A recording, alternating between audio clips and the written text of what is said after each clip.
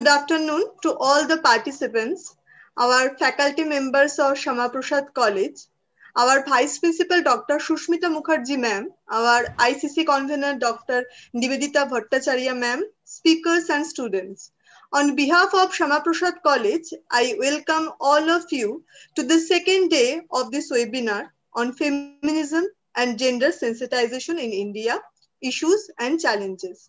organized by the Department of History in collaboration with the Internal Complaints Committee of Shamaprasad College. I want to welcome our resource persons who have agreed to share their findings on this topic. I want to greet our Honorable Chairperson, Dr. Sharbani Gupta ma'am. Now, I request our Vice Principal and HOD History, Dr. Shushmita Mukherjee ma'am to introduce our chairperson and speakers. Good afternoon and a very well, warm welcome to everyone. On behalf of Shama Prasad College, I extend a very warm welcome to my dear friend, Dr. Sharbani Guptu, Professor in Asian Literary and Cultural Studies, Netaji Institute for Asian Studies. I'm extremely thankful to her for accepting my invitation to be the chairperson on the second day of a two day state level seminar on feminism and gender sensitization in India issues and challenges. Professor Guptu has very kindly agreed to introduce the topic and chair the technical session today. Yesterday, the tone of the two day state level seminar was set by Dr. Korobi Mitro, who defined feminism and spoke in length about gender problem, gender discrimination, and also showed us ways and means to overcome challenges and impediments. In the technical session yesterday, we had five very interesting papers, fascinating papers, in fact, on feminism and gender, presented by erudite uh, professors of different colleges of Calcutta. The presentations were on diverse topics, ranging from empowerment of Nur Jahan, wife of Jahangir, and medieval India, to the writings of Tarabai Shinde, critiquing the caste and patriarchal domination of 19th century India, to the story of marginalization of the women scientist Bibha Choudhury, or the gender representation in the Omur Chitrakatha, and lastly, a very important paper, sensitizing women and making them aware of their rights as declared by Supreme Court and also our constitution. It is our duty to exercise this power given in the Constitution and upheld by the Supreme Court. So it was a very fulfilling session, and uh, we were made to understand that we have the power to challenge the patriarchy if required. Today, on the second day of the two day state level seminar, uh, we have dedicated this platform to young researchers and scholars. I'm extremely proud to say that Shama Prasad College is probably one of the first colleges who have given this platform to the young scholars uh, to share their views and ideas uh, of their, about their work. Today, we have five speakers who will speak on very interesting topics. The speakers are Tita Sharkar, Pushpa Da, Shagota Udhikari, Orindam Ghosh, Shukollan Gai. I welcome the young scholars today, and I'm very sure that you will be greatly enriched by the observations of our esteemed chair, Professor Sharbani Gupta. I take this opportunity to thank my faculty, uh, members of history department, without whose unconditional support this seminar would not have been possible, ICC convener, Dr. Nivedita Bhattacharya, Department of French, moderator Shulagna Shom, and the technical team comprising of Mitun Gai, Damini Roy, and Shulagna Shom. I now take the pleasure of introducing Professor Sharbani Gupta. Dr. Sharbani Gupta is Professor of Asian Literary and Cultural Studies in Netaji Institute for Asian Studies, Kolkata. Previously, she worked for 20 years at the History Department in Calcutta Girls College under University of Calcutta. Her main areas of research are nationalism and culture in colonial and post-colonial period. Among her publications are the Actress in the Public Theatres of Calcutta, published in 2015. The Music of Nationhood, the general Roy of Bengal, published in 2018. And a co-edited volume on modern Indian sensibilities, culture, politics, history, Ishita Banerjee Dubey.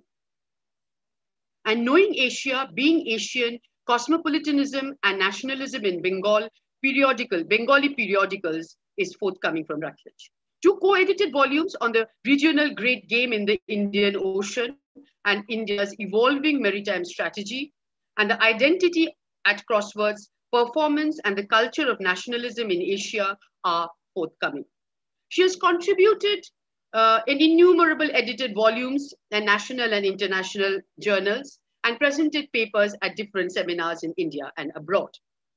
She's at present working on two books on Bengali women's travel narratives to the West and East, with translation by Indrani Bose, and Bharat and Brahmodesha in written testimonies, India-Burma relations in the colonial period with Shushmita Mukherjee, and has just completed a West Bengal state government-funded project on showcasing Asia to the world in the Empire exhibitions. She's council member for 21 years at Netaji Research Bureau, and at present Secretary of Indian Association of Asian Pacific Studies. Welcome, Dr. Guptu, to our seminar. Thank you very much. Should I start? Yes, please. Um, okay, so um, today the topic that you all have chosen is extremely interesting and relevant um, for today. Uh, and it has also been very relevant even for the previous centuries.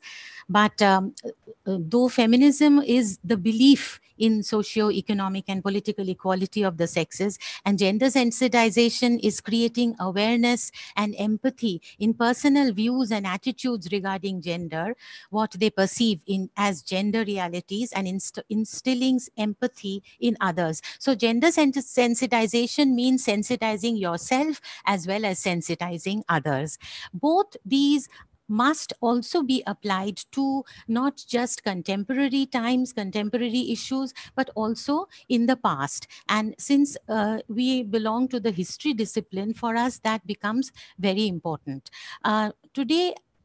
that is uh, what I'm going to do. Um, I'm going to um, talk specifically about one section of performers. I'm just getting my um, PowerPoint uh, set.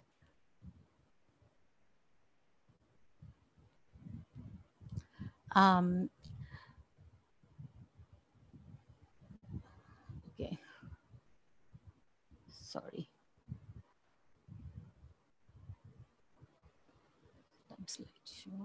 No, sorry.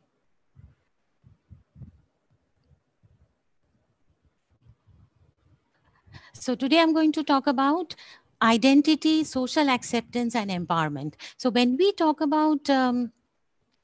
so uh, can Shulagna on Shushmita um, come uh, open your videos because if I don't see anybody, then it's very difficult for me to speak. Yeah, so one of you at least stay um, open. So, uh, so when um, so when we are talking about both feminism and gender sensitization, we must remember two things. One is that they are space and time specific also. You know, if we impose these characteristics on a previous period, then you have to adapt it to that time as well. You know, because what I'm trying to say is that when I look at um, actresses in uh, late 19th century and the early 20th century, whether today's um, ideas of gender sensitization becomes equally important then or what their questions are or what their problems are also has to be um, you know you have to be aware of that as well so sensitization also means that you have to understand your own way of looking at uh, gender your own understanding uh, of gender whether it is time specific or not you know so you do look we have to we can't forget where we stand we can't forget uh, that we are scholars of today you know 2020 but when we look at the past the questions that are valid then also must come into our our calculations. So that is what I'm going to talk about when I talk about the first actresses who come into the Bengali public theater. So what they were looking at was identity social acceptance as well as empowerment i mean without emancipation and empowerment what is uh, what how can you have an identity so the, all that de- definitely comes in but for them unfortunately identity was not simply artistic identity uh, professional identity at, as it is today but also uh, acceptance social acceptance so, um, so Bengali theaters, as you know, these are the two main theaters. There were many, many more, but specifically what is important to remember is that these were public theaters. Now, it's not as if before 1870 there was no theater. There were uh, lots of theaters and they were actually what today we call amateur theaters in which uh, you don't uh, allow everybody to attend, today it's very different here you, today we buy tickets to theaters and uh, we anybody can i mean you don't have to belong to a particular caste or community or class but but then amateur theaters meant that they were performed in the houses of the rich and the famous and only their invited guests were allowed to attend and so um, uh, they included also the british um, so uh, after 1870s and oh and most importantly in that period the, in in that kind of theater there was no women participants they all even even the women's roles the men acted before that also there were two attempts only at uh, where women were brought in for acting one was uh, uh, in the late 18th century when it when the first bengali theater was started by gerasim lebedev a russian um, uh, playwright but and one more in the 1830s, but both of them were very short-lived. So from 1870s, it, the public theatre actually started and Bengal theatre actually started off with um, four actresses. And obviously, these actresses were not from the middle classes, um, though the men, the actors, were from middle classes, but these women all were daughters of prostitutes or prostitutes themselves. the other theater, National Theater, as you can notice, is 1874. Why? Because it started around the same time as Bengal Theater in 1873, but no, it started 1874, but they resisted bringing in actresses for one year and 1875 five of them were finally brought in but but the interesting thing is once these theaters brought in actresses that stayed forever. I mean, it, it, it, they never went back. Thank you, Shushmita. It's good to see uh, faces when you're talking. So, uh, so once the once uh, these actresses came in, that was there was no going back again. In fact, all the theaters who did not employ actresses began to suffer from um, loss of the box office. You know, the uh, so naturally uh, performances by actresses became thing. Now, when then these, I told you, they came from very poor economic and educational background. So when they came um, onto the theater, from the beginning, there had to be a huge training process, not just because they had, uh, they were um, even if they knew a smattering of letters, they did not know how to deliver dialogues. They did not have a good accent, proper accent, a chaste accent. Some of them had a lot of, um, you know, problems in pronunciations that had to be cured. Singing and dancing, they were so young that they did not really have the training, though we would have thought that coming from that kind of background, at least the Baiji uh, families would have given training. But these were girls, you must remember, between ages 8 and 12 so or even younger seven sometimes so then there was no real opportunity for them to have training before so that also they got in the theater and an overall education in binodini if you read her autobiography you will see how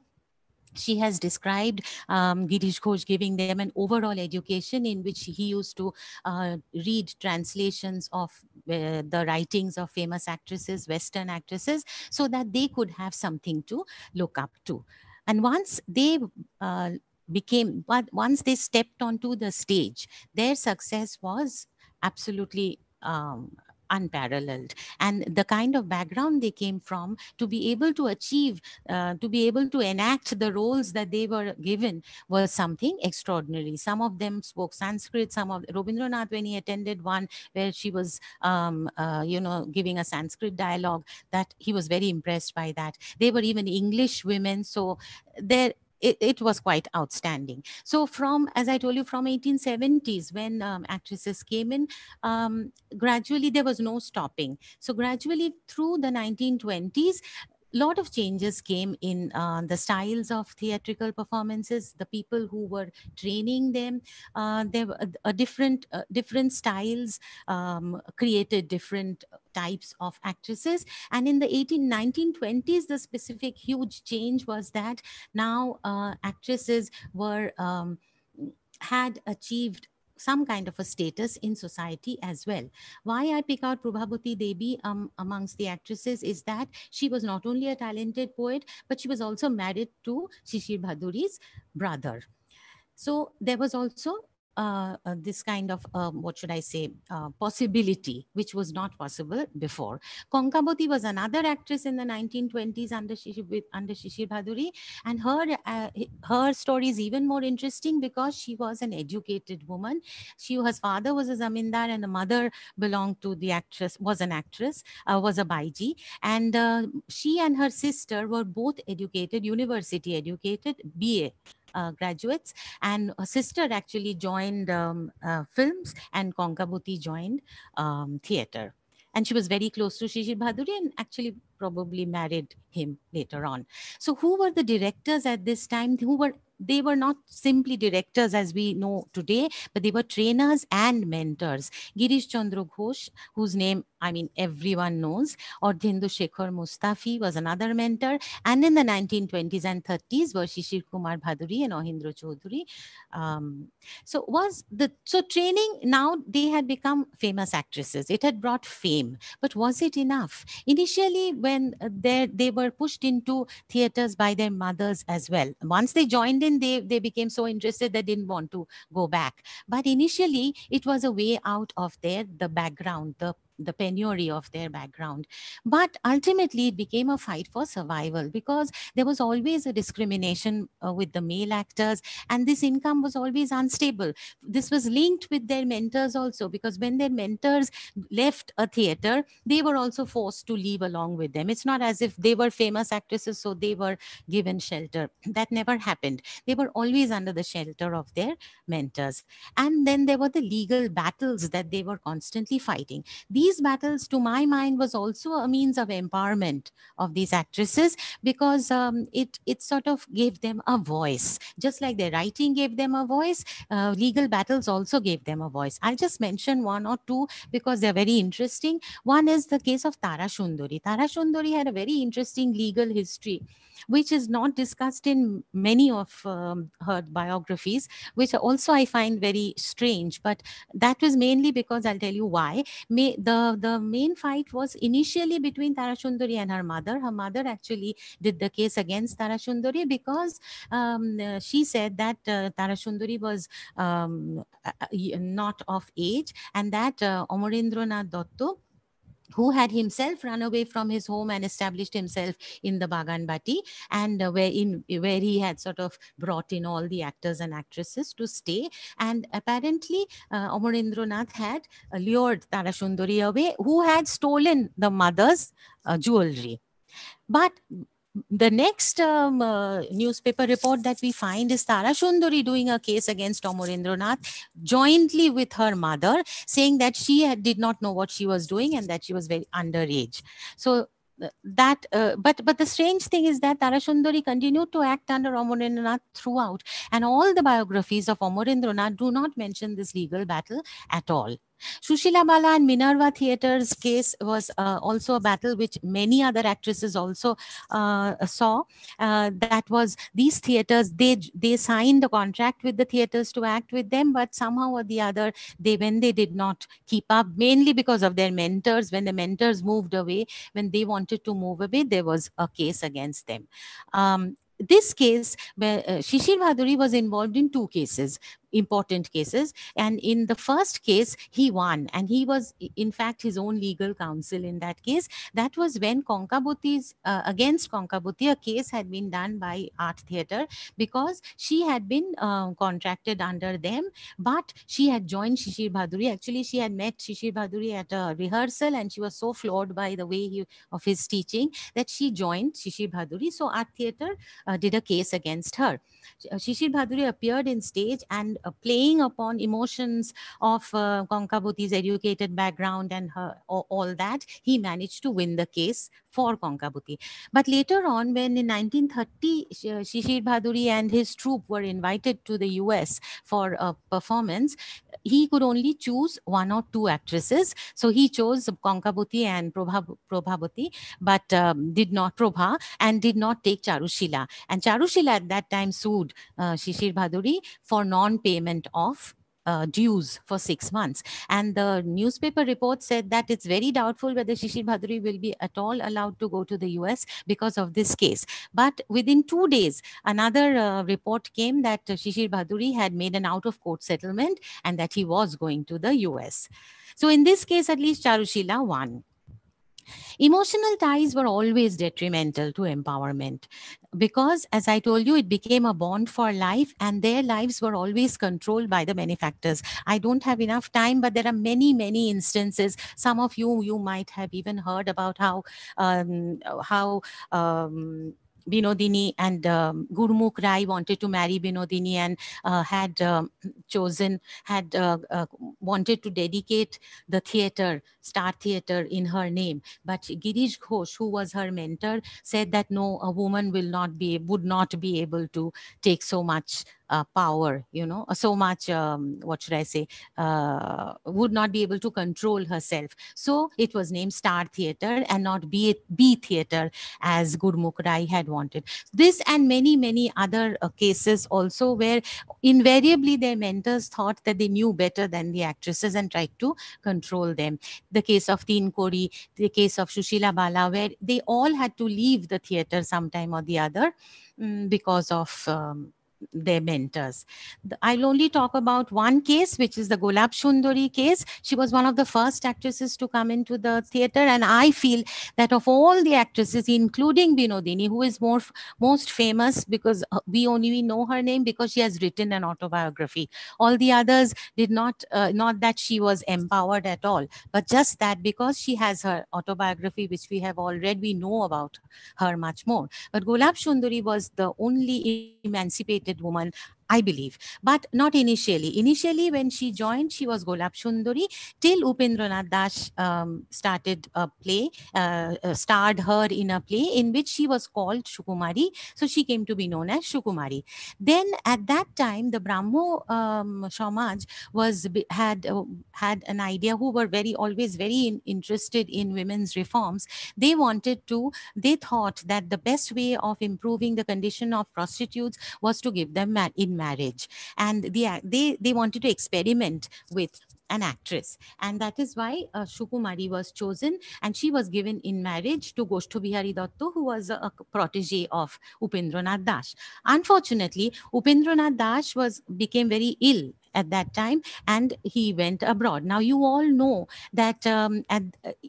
in this period, there was a huge stigma about performing on stage. So all the men and women, women of course came from, did not come from the middle class background, but men did. And the moment they joined the theater, they were ostracized and they were removed from their families. So uh, when Goshto Bihari married Shukumari and settled down, he was of course thrown out of his family. So and and the interesting and the sad thing unfortunate thing was that when women were married or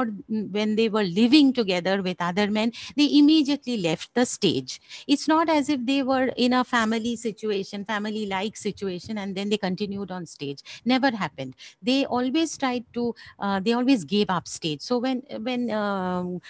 shukumari was married to goshtu bihari she stopped acting and they had a child and they lived in a bosti because uh, uh, they were not allowed to live in the family house. Goshto Bihari could not tolerate this. And he actually ran away to England. He became a stowaway in a play, uh, in a ship and ran away. So Shukumari was left alone with her daughter, no financial support at all. But what did she do? She didn't resort to begging. She be- returned to the stage, became the first female playwright, and established a theatrical company for women. She wrote she, of course, also wrote uh, Opurbo Shoti, which I think is the is uh, the first play by uh, an actress and those who my uh, my point is that the the greatest identity that these women had was in writing because that was the only thing that has survived and um, so binodini with her um, poems and her autobiography, Tara memoirs, Tinkori Dashi's memoirs, Prabha Devi's songs, and Shukumari Dotto's Apurva Shoti are the important things. Now, reality was not at all artistic and dreamlike uh, because the it was all right for men to be actors but not women to uh, be performers and interesting enough that is what these women also believed which is why throughout from the beginning they thought that going into acting into theater was a way into some family or the other and they are always looking for an alternative family so um, which which actually never happened because very few of them were actually married you know in the sense proper properly married they might be living together with men but they were not married even though Tinkori, after she died she uh, she uh, um, uh, what, willed her two houses to the sons of her babu uh, it, it, there's so much irony in in this whole story and they also looked for uh, uh weird legitimizations like spirituality, like um, uh, uh, uh because most of these uh, actresses, the, the the strategy that they use in their writing is that if we are blessed by um, Sri Krishna, then we we can't be that bad. So the search for identity as an actress professional identity remained elusive but what they what they uh, looked for was an alternative family but but even then i believe that the the journey that began with them into towards gender equality towards an artistic equality towards some kind of uh, empowerment uh, was actually happened many many decades later now actresses can actually claim if not complete equality, but at least some kind of an emancipation. And social acceptance also increased gradually. Uh, marriage partnerships became more visible. As I told you, Shishir Bhaduri and his brother both married actresses. Traveling outside the country also expanded the horizon. And most importantly, the, the role that the, that the Tagore family played in this was in uh, in um, respect making acting respectable through Vishwabharati and Jorashako cannot be denied. Shishir Bhaduri's role also must be remembered. He was an educated man. He brought in uh, people like Shuniti Chattopadhyay and many others into theater for the, as resource people, as resource persons. So history as in the sets and history in uh, in the performing styles became uh, much more acceptable to the later generations and these the the writings of these actresses as well as the the fact that they did participate in performances remained an inspiration for the successive generations so um, there today we when we look at the actresses we must look at a very sensitive through a very sensitive lens so that we can understand women and their role in the society and and the fact that uh, uh, even if they didn't know they, there was a huge impact that they had on the generations to come thank you very much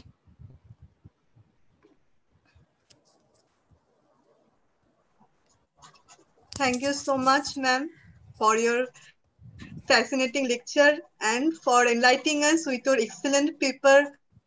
on search for identity, social acceptance, and empowerment, the actress in public theater in early 20th century. Earlier, I have read your book, The Actress in the Public Theater of Calcutta, and a wonderful, informative book indeed.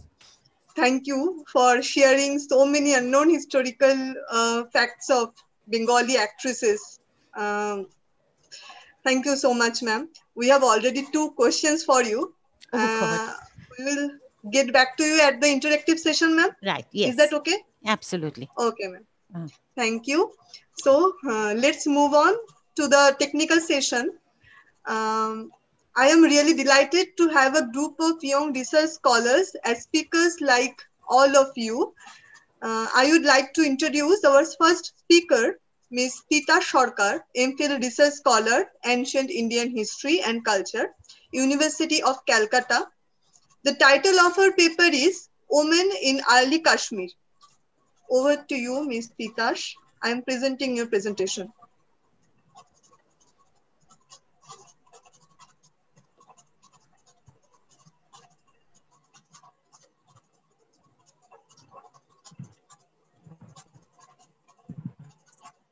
Tita Sharma, please.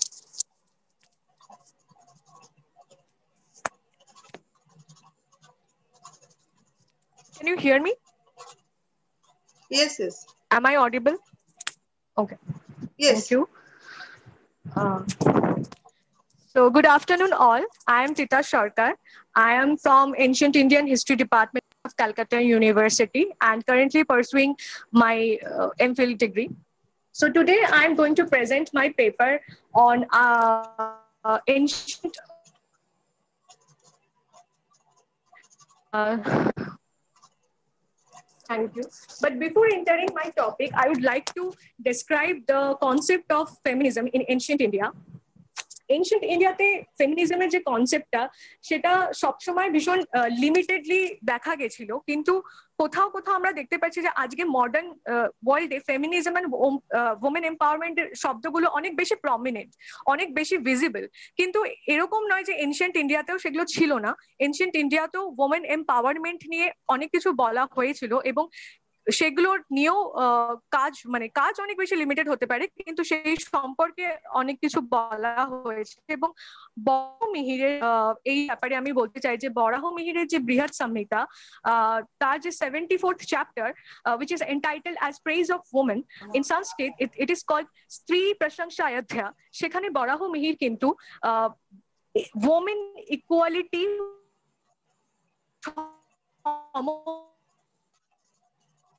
আমি আজকে টোয়েন্ট মানে সেখানে টোয়েন্টিটা verse আছে তার মধ্যে আমি তিনটে verse একটু ডিসকাস করব অ্যান্ড তারপর আমি আমার মেইন টপিকে যাব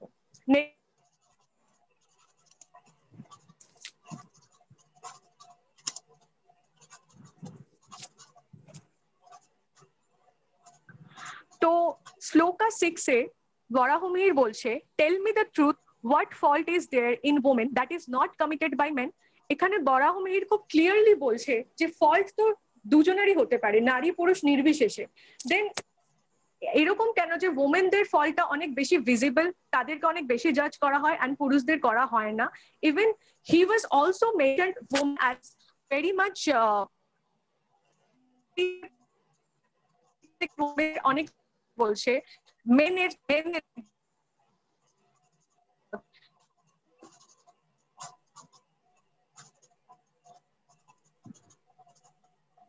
Titash. Next, next slide.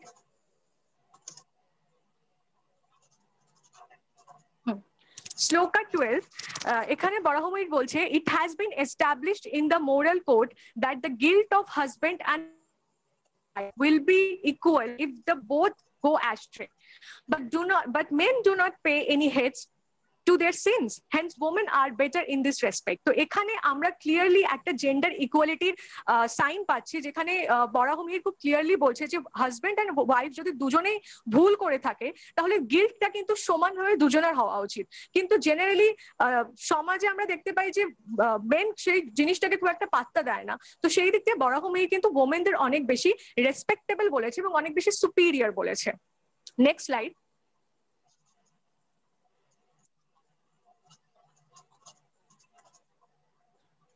শ্লোকা ফিফটিনে বড়হমির বলছে how impudent are the immoral fellows that slander blameless women they are like the thieves actually found stealing and yet crime তো এখানে বরাহমির বলছে একটা ভীষণ ইন্টারেস্টিং ব্যাপার যে যে পুরুষ তান্ত্রিক সমাজে পুরুষরা খুব ইজিলি যে কোনো দোষ বোমেনদের উপর চাপিয়ে দিচ্ছে আদৌ তারা দোষী কিনা সেটা যাচাই করার আগেই দে আর ব্লেমলেস কিন্তু তাদেরকে সেই দোষটা দেওয়া হচ্ছে এই ঘটনাটা অনেকটা এরকম না যে চোর চুরি করছে এবং ধরা পড়ার পর নিজেই কাঁদছে তো এই যে তিনটে আমি শ্লোক বেছে নিয়েছি অ্যামং দ্য টোয়েন্টি ভার্সেস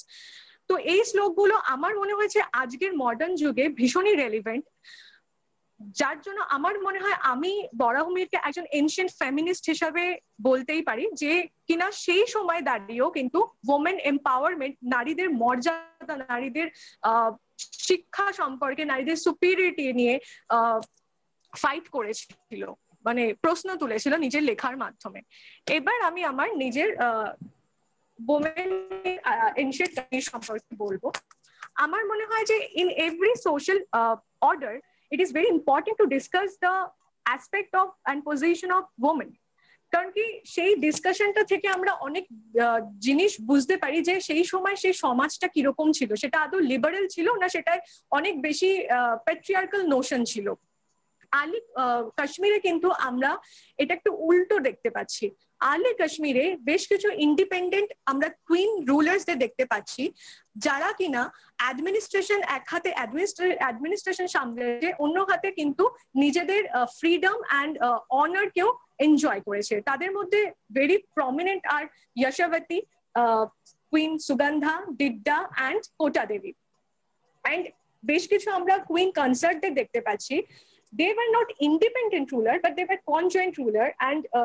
তারা তাদের কিংদের সঙ্গে অ্যাক্টিভলি uh, পার্টিসিপেট করেছে যে কোনো মানে সোশ্যাল অ্যাফেয়ার্স হোক বা যে কোনো অ্যাডমিনিস্ট্রেটিভ পরামর্শতে হোক তারা নিজেদের কিংদের সাপোর্ট করেছে এবং কিংরাও তাদের পরামর্শ নিয়েছে তো এখানে আমরা আরেকটা জিনিস দেখতে পাচ্ছি যে কিংরা কিন্তু সেই সময় রাজারা সেই সময় কিছুটা হলেও লিবারাল ছিল কারণ তারা কিন্তু তাদের রানীদের থেকে অনেক বেশি ইন্সপায়ার্ড ছিল অ্যান্ড আজকের আমার এই টপিকটা সম্পূর্ণই সেই সব নারীদের নিয়ে যারা নিজেদের মানে নিজেদের যুদ্ধটা নিজেরা একা লড়েছে with very much brave heart and এই সোশ্যাল অর্ডারটার যে একটা প্যাট্রিয়ার্কাল নোশনস আছে সেটাকে তারা খারিজ করে দিয়েছিল যদিও আর্লি কাশ্মীরে early Kashmir was very liberal among the rest of other subcontinent তো ফার্স্ট আমরা যে রেফারেন্সটা লিটারেরি রেফারেন্স পাচ্ছি আর্লি কাশ্মীরের হিস্ট্রি জানার জন্য সেটা হচ্ছে নীলমাতা পুরানা নীলমাতা পুরানার কথা কালহান নিজের রাস্তারঞ্জিনীতে ব্যবহার করেছেন অ্যান্ড নীলমাতা পুরানাতে যেটা বলা হচ্ছে সেটা হচ্ছে ওমেনদের এডুকেশন নিয়ে বলা হচ্ছে যে ওমেনরা পার্টিসিপেট করতো বিভিন্ন ফেস্টিভ্যালে এবং তাদের এডুকেশন অনেক বেশি উন্নত ছিল তারা fine arts art architecture religion এরকম বিভিন্ন এডুকেশন মানে প্রশিক্ষণ নিত এবং not only that they are very much fluent in language Sanskrit and Prakrit even বিলহানো এই জিনিসটাকে নিজের বিলহানো তার নিজের লেখাতে এটা বলেছে যে উমেনরা কতটা ফ্লুয়েন্ট ছিল ল্যাঙ্গুয়েজে তারা সংস্কৃত এবং প্রাকৃতে অনেক বেশি ফ্লুয়েন্ট ছিল along with their beauty they were also uh, know how to use their brain so this is very much prominent এবং আহ নীলমাতা পুরাণে এটাও বলা হচ্ছে যে নারীরা সেই যুগে কিন্তু অনেক ফেস্টিভ্যালেও ফ্রিলি পার্টিসিপেট করতো তার মধ্যে আমরা কৌমদি মহোৎসবের কথা জানতে পারছি কৌমদি মহোৎসবের মুনলিট নাইটে women used to participate with their husband and children একটা স্যাক্রেড ফায়ারের সামনে তারা একসাথে মানে বসতো এবং সেখানে তারা এনজয় করতো এবং আরেকটা ছিল ইরানজারি পঞ্জামা বলে একটা ফেস্টিভ্যাল ছিল which is a flower festival যেখানে মেয়েরা মেয়েদেরকে ফ্লাওয়ার গিফট করা হতো তো সোসাইটিতে কিন্তু মেয়েদের নারীদের সেই সময় যথেষ্ট মর্যাদা ছিল they are very much liberal and there was no reference of veil worn by women তো এই তারা খুব ফ্রিলি সোসাইটিতে মুভ করতে পারতো তাদের কোনো ভেল বা কোনো কিছু পর্দা বা কোনো কিছু কিছু তারা ফেসে ইউজ করতো না কিন্তু হ্যাঁ কালহান কিছু রেস্ট্রিকশনস এর কথা বলেছে কালহান বলেছে যে যখন তারা কোনো ফিজিশিয়ান বা কোনো ট্রেডার্সদের সঙ্গে কথা বলবে related to their necessary business তখন they had to be very reserve they had to be very circumspected তাদের সতর্ক থাকতে হবে কিন্তু এখান থেকে আমরা আরেকটা ইন্টারেস্টিং জিনিস জানতে পারছি যে সেই সময় নারীরা কিন্তু এরকম প্রফেশনস গুলোতেও পার্টিসিপেট করছে তারা এরকম ডিসকাশনেও পার্টিসিপেট করছে তো এটা একটা ভীষণ ভালো উদাহরণ যেটা আমি বলবো না যেটা খুব আর্লি কাশ্মীর একেবারেই প্যাট্রিয়ার্কাল ছিল সেখানে কিন্তু যথেষ্ট ওমেনদের ফ্রিডম ছিল এবার এই সমস্ত ওমেনদের কথা বলতে আমি নীলমাতা পুরনের যে রেফারেন্স গুলো পেয়েছি এবং রাস্তারিনীতে যে রেফারেন্স গুলো পেয়েছি সেখানে সবার ফার্স্টে আমি যশোবতীর কথা বলবো যশোবতী দামোদরের মানে গোনান্ডা ডাইনাস্টিরই সে বিলং করতো অ্যান্ড দামোদরের যখন মৃত্যু হয় তখন যশোপতি থ্রোনে বসে তাকে কারণ there was no heir in Damodara তো তাকে থ্রোনে বসতেই হয়েছিল এবং সে কিন্তু first recorded female independent ruler এবং নীলমাতা পুরাণাতে বলা আছে কালহান রেফার করেছে যে সে যখন থ্রোনে বসে তখন কিন্তু কিছু অ্যাডভাইজার্স তার সময়কার যারা অ্যাডভাইজার ছিল দে অপোজড হার পাওয়ার মানে তারা কিছুটা ভয় পেয়ে গেছিল যে একজন ওমেন মানে লিবারেল থাকা সত্ত্বেও অ্যাডমিনিস্ট্রেশন থেকে কিছু অপোজিশন সবসময় এসেছিল যে তারা একজন কুইনকে মানে থ্রোনে মেনে নিতে পারেন এবং তারা কোথাও একটা ভেবেছিল তাদের পাওয়ারটা হয়তো ক্রপ হয়ে যাবে সেই সময় তাদেরকে বোঝানোর জন্য এটা নীল মাতা পুরাণতে বলা হয়েছে যে কৃষ্ণ নীল মাতা পুরাণ থেকে কিছু ভার্স রিসাইট করেছিল অ্যান্ড সেই ভার্সে নারীদের সমমর্যাদা নারীদের যে সোশ্যাল ইকুয়ালিটি নারীদের যে এডুকেশন সেই সম্পর্কে কৃষ্ণ কিছু বক্তব্য রাখে এবং সেইগুলো থেকে এটা বলা হয় কালহান নিজে বলেছেন যে যে যারা অ্যাডভাইজার ছিল তারা কোথাও একটা নারীদের আগে অবজেক্টিফাই করতো তাদেরকে অবজেক্ট মানে অ্যাজ আ প্লেজার হিসাবে তাদেরকে ট্রিট করতো কিন্তু after hearing the verses they also use to be treated Yashovati as a goddess তো এটা ভীষণই সিগনিফিকেন্ট কিন্তু এই যে প্রমিনেন্ট এই যে মানে প্রবলেমস গুলো এই যে অ্যাডমিনিস্ট্রেশনের প্রবলেমটা কিন্তু আমরা সুগান্ধার টাইমেও পাচ্ছি Sugandha also face the same difficulties যখন শঙ্করা বর্মন তার হাজবেন্ড মারা যাচ্ছে একটা ব্যাটেলে তখন সুগন্ধা কিন্তু তাকে ক্রাউন প্রিন্স মানে প্রিন্সেস হতে হচ্ছে কারণ সেই সময় তার ক্রাউন প্রিন্সেস হওয়া মানে তার ফোনে বসা নিয়ে কেউ অপোজিশন করেন কারণ অলরেডি ইয়াশোভাতিকে সবাই দেখেছে এবং ফিমেল রুলারদের সম্পর্কে তাদের একটা জ্ঞান অলরেডি হয়ে গেছিল তাই ফোনে বসা নিয়ে কেউ অপোজিশন করেনি ইভেন সেই সময় সমাজে মানে টেন আমি ten century early ten century এটির কথা বলছি তো সেই সময় অ্যাডমিনিস্ট্রেশনে দুটো ফ্যাকশনস থাকতো একটা তান্ত্রিন্স একটা এগাঙ্গাস and they were very friendly from and the beginning they were very friendly and devoted to sudanda but at some times they were became uh, like they were became uh, very ruthless and they certainly they opposed every decision of sudanda মানে এটা ভীষণ অদ্ভুত ব্যাপার যে তারা কেন কেন তারা মানে সমস্ত ডিসিশন কে অপোজ করেছিল কারণ তাদের মধ্যে ফিয়ারটা কাজ করেছিল তারা দেখেছিল একজন রানী ইয়াশাবাতি যখন থ্রোনে বসে তখন মানে যে যেভাবে মানে তাদের সেই ভয়টা কাজ করেছিল কারণ তারা মানে কিছুটা হলেও ফ্যামিলিয়ার হয়ে গেছিল তাই তারা জানতো যে কোথাও একটা যদি সুগান্ধা রুল করতে শুরু করে দেয় তাহলে হয়তো তাদের যে একচেটিয়া যে তাদের যে আধিপত্যটা তাদের যে পাওয়ারটা সেটা কোথাও একটা ক্রপ হয়ে যাবে তাই তাদের তারা রানীর সমস্ত ডিসিশনকে খারিজ করতে শুরু করে দেয় এবং একটা টাইমে কি দেখা যায় যে এই একাং মানে একাঙ্গাস আর তান্ত্রিনদের নিজেদের মধ্যে একটা কনফ্লিক্ট হচ্ছে যেখানে একাঙ্গাসরা সুগন্ধাকে পার্টিসিপেট করতে বলছে আর মানে গভর্নমেন্টকে পার্টিসিপেট করতে বলছে কুইনকে পার্টিসিপেট করতে বলছে নিজেদেরকে পাওয়ার বাড়ানোর জন্য কিন্তু সামহাও আনফর্চুনেটলি তান্ত্রিকরা তান্ত্রিকরা জিতে যাচ্ছে অ্যান্ড সেই সময় সুগন্ধাকে তান্ত্রিকরা ক্যাপচার করছে ইমপ্রিজন করছে and somehow in that situation Sugandha died কিন্তু এটা ভীষণই সিগনিফিকেন্ট যে ডিউরিং হার ডে এই যে টোটাল পলিটিক্যাল যে আমরা কনফ্লিক্টটা দেখতে পাচ্ছি যে অপোজিশন গুলো দেখতে পাচ্ছি এগুলো সমস্ত কিছু কাটিয়েও কিন্তু Sugandha as a prominent leader as an prominent administrator হিসাবে পরিচিত ছিল এবং সে কিন্তু নিজের জায়গাটা থেকে কখনো ছাড়েনি সে কিন্তু নিজের লাস্ট ব্রিথ অব্দি he fought till her last breath এবং during her reign she also found Gopala convent যেটা একটা এডুকেশনের পারপাসে সে বানিয়েছিল she was very keen to education so she was fond of students and scholars তো তাদের জন্য সে গোপালা কনভেন্ট বানিয়েছিল কিন্তু এই যে অ্যাডমিনিস্ট্রেশনের যে যে পলিটিক্যাল রাইভালরি এইটা আমরা ডিড্ডার সময় কিছুটা হলেও লিমিটেড দেখতে পাই Didda was married to Kshema Gupta and Kshema Gupta was he was কি বলবো it has been said that Kshema Gupta was down here say he was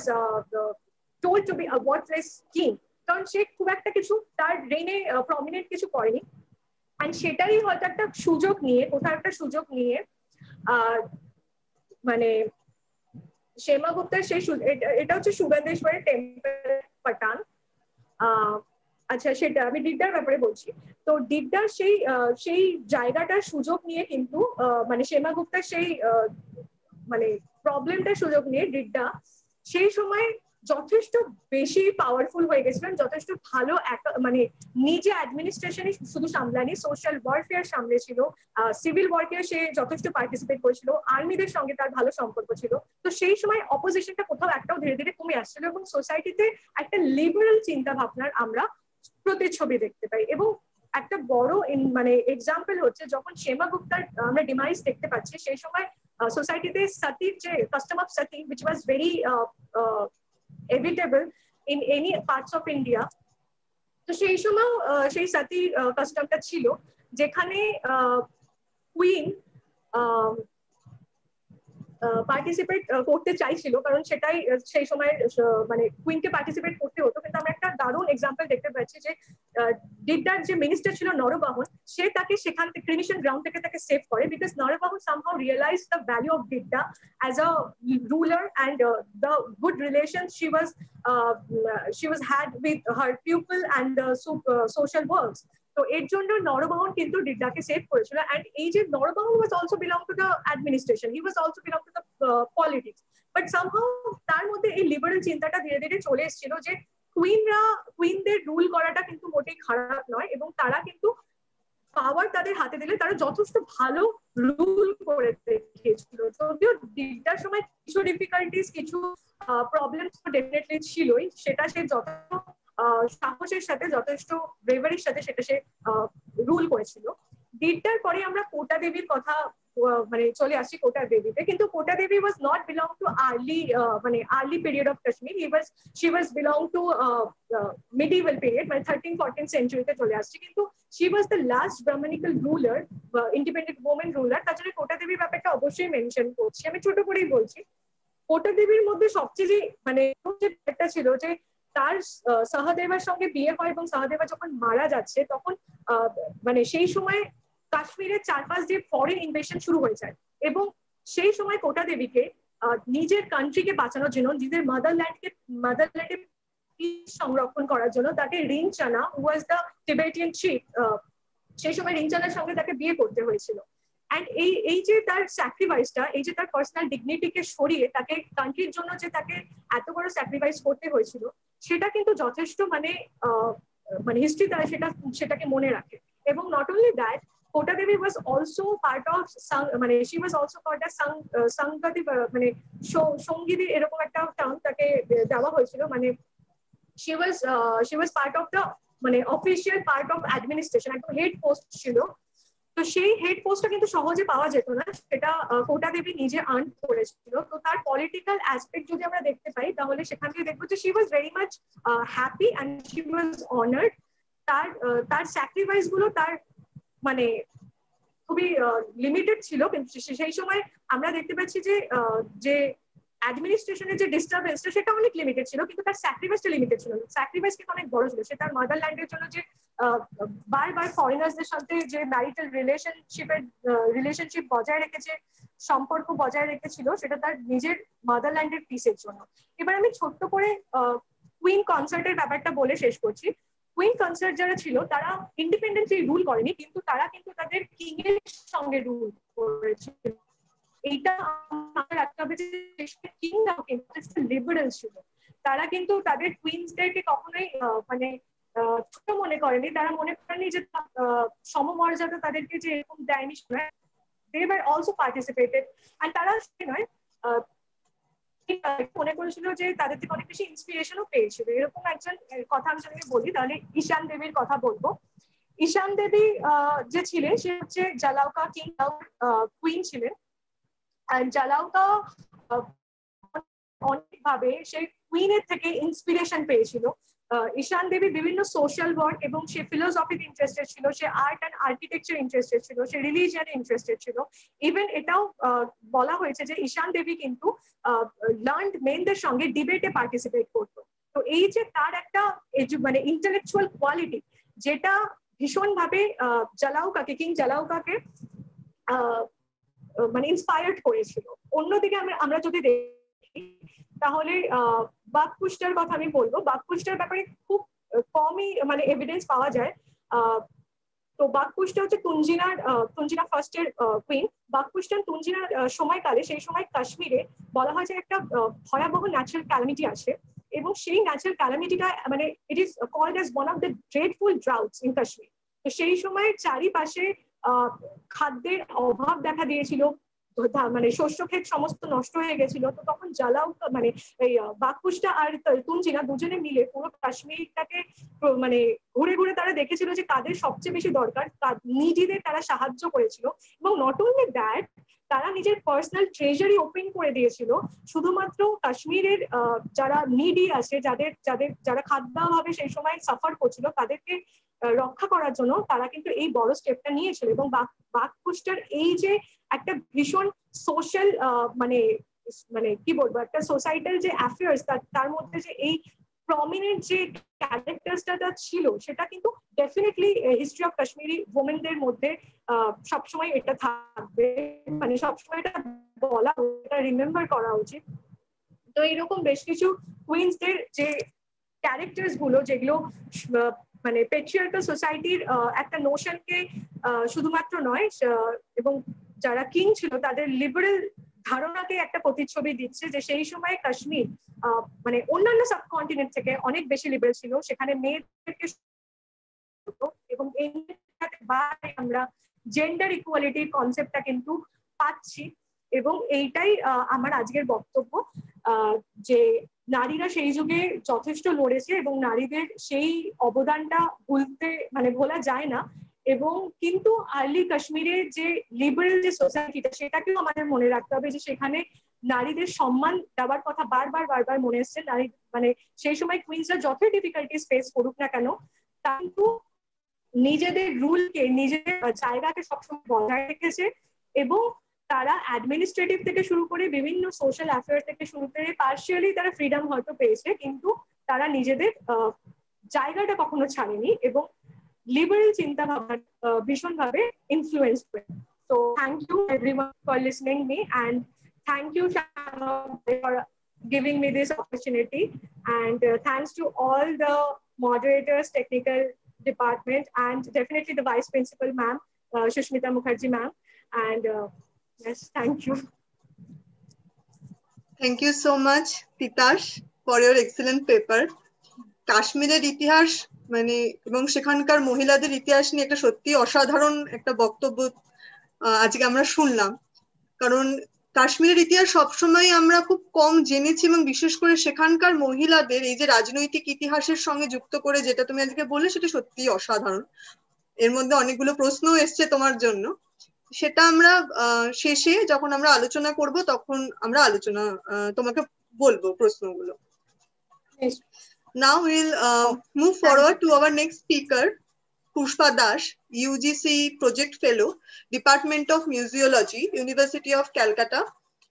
the title of her paper is contribution of women Patuas of Bengal in post colonial period Pushpa Das এক minute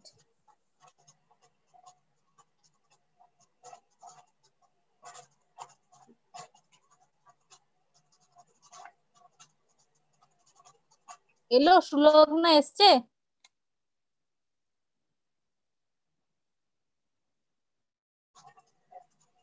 না এখনো share হয়নি screen এক minute share হয়নি share screen তো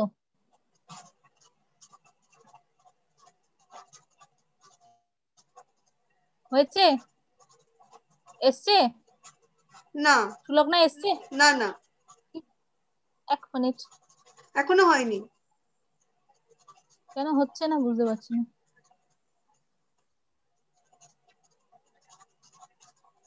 disable করা আছে বলছে host disable participant screen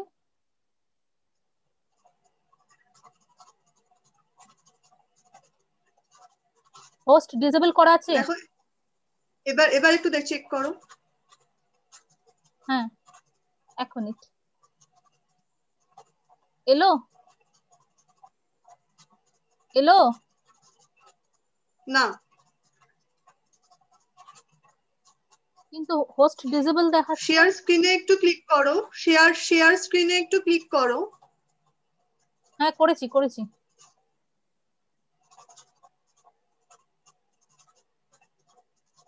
এসছে না হ্যাঁ এসছে এসছে হ্যাঁ হ্যাঁ এসছে ওকে Okay. Thank you, Shulagna. Good Honorable Vice Principal, Ma'am, Dr. Shushmita Mukherjee, the convener, Dr. Nivedita Bhattacharya, Ma'am, Chairperson of the session, Dr. Sharbani Gupta, Ma'am, and other organizing committee, my fellow co-participants and audience. Today, my present topic is Country Women Portfolio in the Post-Period. we all know that India has an age-old tradition appropriate to modern era. It is a land of rich cultural heritage, which has enriched a lot of forms of folk art. These folk art forms are an embodiment of the diverse culture within the country. So every uh, in Indian context, we look back into our culture. We had seen that our society is mainly based on male-dominating zone. So we uh, where the female is always bounded their room. After that, we have seen everything is recognized by male who manufactured them in colonial period that art was done by mainly male and received their recognition. So during that time, after British came in India and ruled almost over 250 years and great time, the Bengalis flourish their art and culture and artists are uh, engaged and emerge the, the uh, art. Next one is historical background. During in, uh, before independence of India, Bengal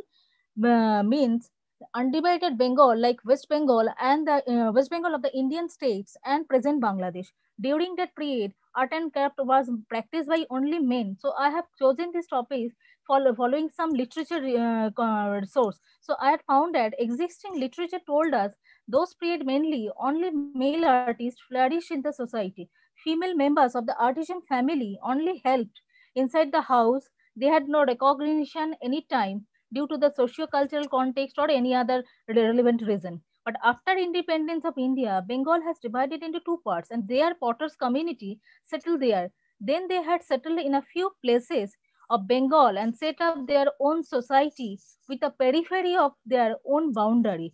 Bengal is one of the most colonial, uh, important colonial places of British India. So at that time, British uh, established the architectural buildings as well as patronize the local art and craft.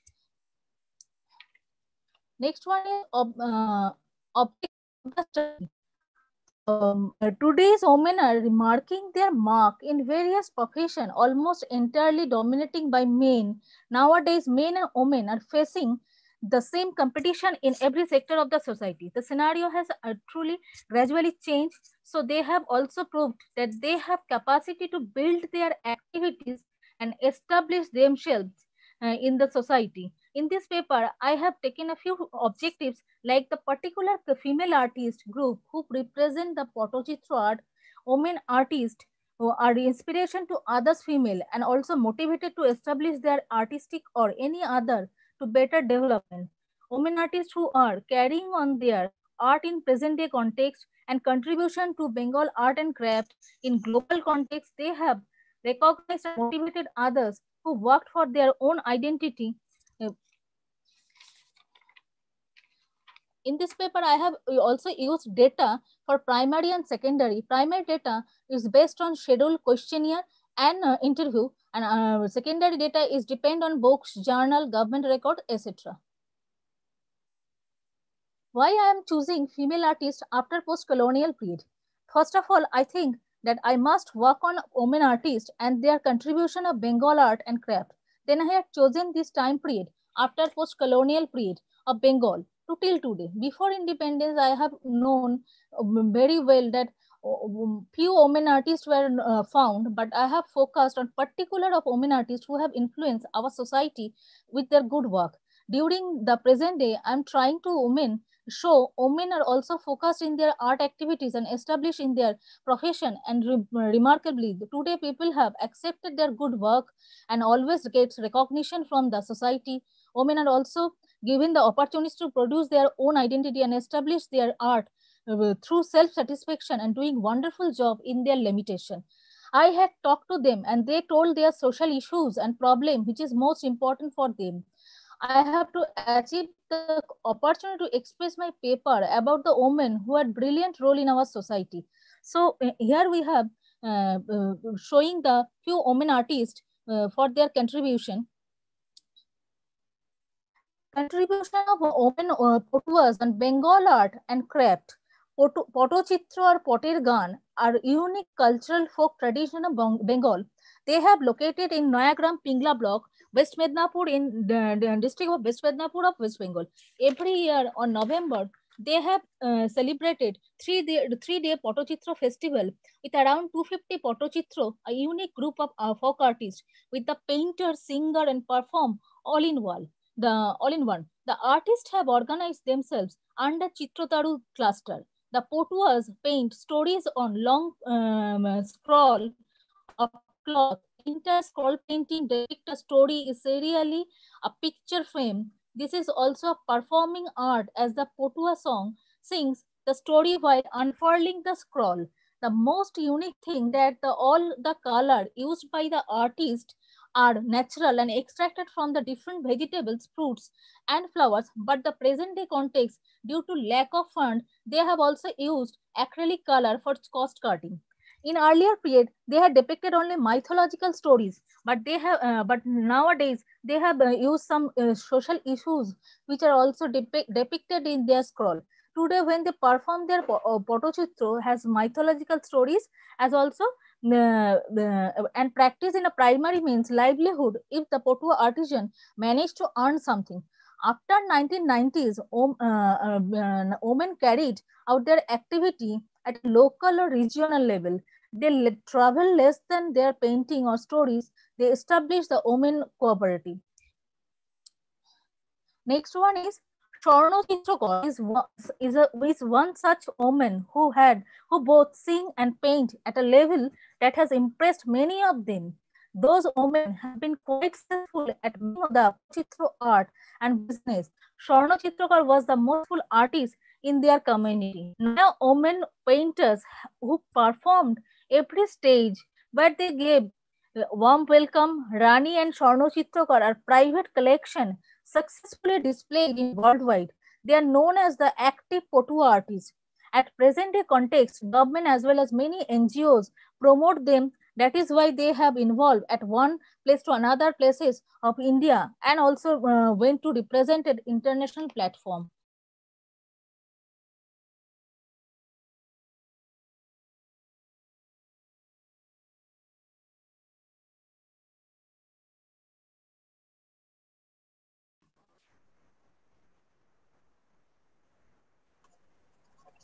Pushpa, you Hello? done? Finished? No, no, no, no, no. No, oh, ma'am. Yeah. No, ma'am. Little bit left. Shorno Chitrakar narrated her journey from simple village girl to renowned artist from scroll painter scroll painter or uh, painter. According to Shorno said that her uh, parents married uh, her of an early age but she was not happy with her paternal house uh, paternal house and she came back home and learned everything from her father then she was trying to uh, survive in her own way and published her work day after day she has traveled across the world and collaborated in the different uh, cultural exchange program and presented her creation all over the world Shorno has not limited her creation to potochitra and she has also introduced deliver introduced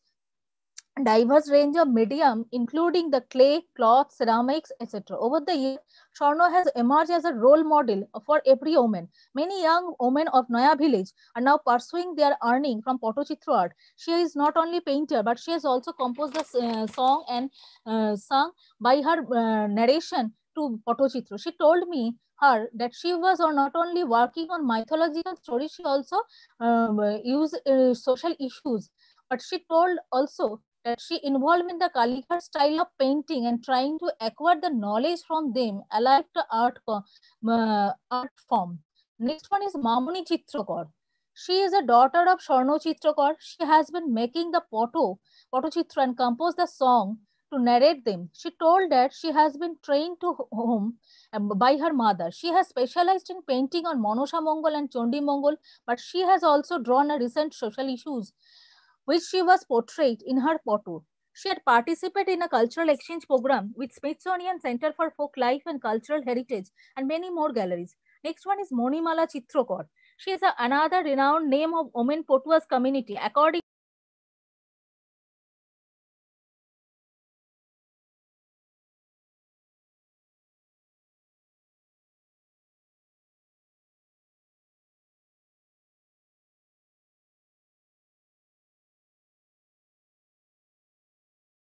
not prepared to be confined only to the Noya village. She wanted to explore their art form and spread over the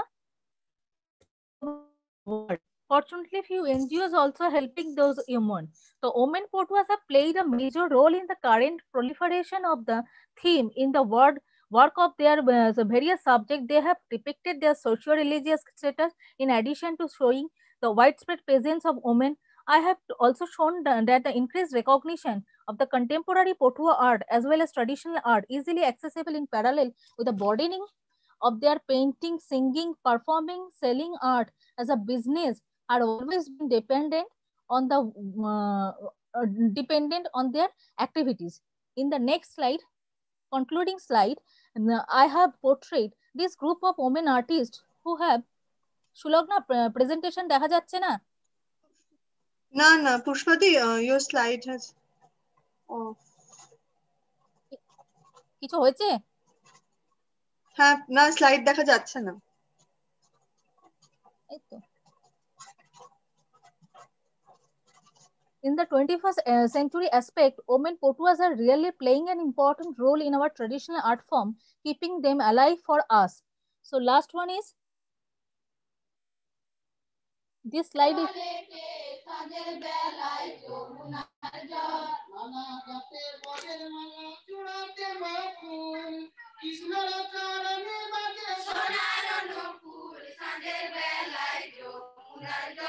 আনতে বলে কে সাজের বেলায় যমুনার জল জলানিতে জল করা থাকো না কামিয়া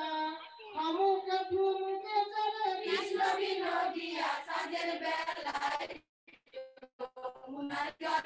আনতে বলে কে সাজের বেলায় যমুনায় জল অষ্টমাকে পুকুর ঘাটে কানাই দেখা দিল কানাইয়া দেখিয়া রাধা খবর টানিল সাজের বেলায় যমুনার জল আনতে বলে কে সাজের বেলায় যমুনার জল এ দেখিয়া কানাই বুঝি করিতে বচন আমায়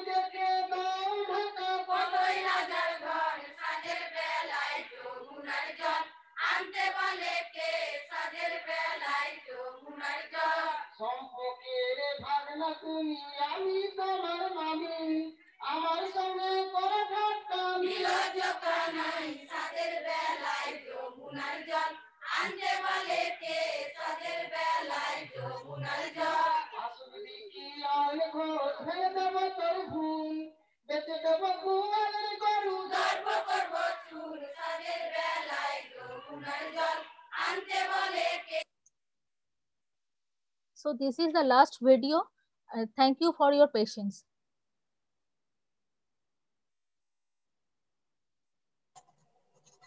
Thank you, Pushpa Dash. Uh, it's a really uh, fascinating speech with a regional song. Uh, with the emergence of regional historiography, the history of lower section of uh, society is now getting the needed focus. And in women's history, this is indeed an interesting topic. Now, I would like to request our next speaker, Shagota Udhikari, MPhil Research Scholar, Ancient Indian History and Culture, University of Calcutta, to deliver her findings on the paper titled Unorthodox Concepts of Personalities in Literature and Reality. Shagota Udhikari. please unmute yourself.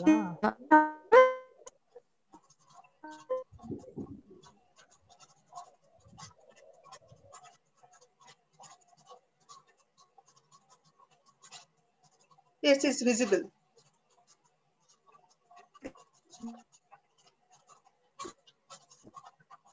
But please unmute yourself.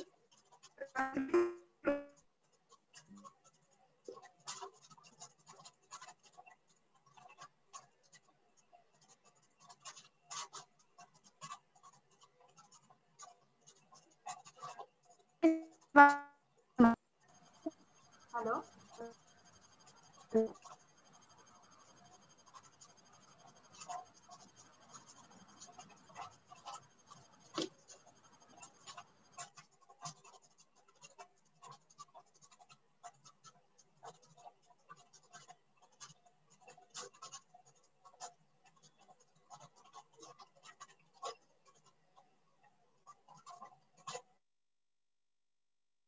can start your presentation, ma'am.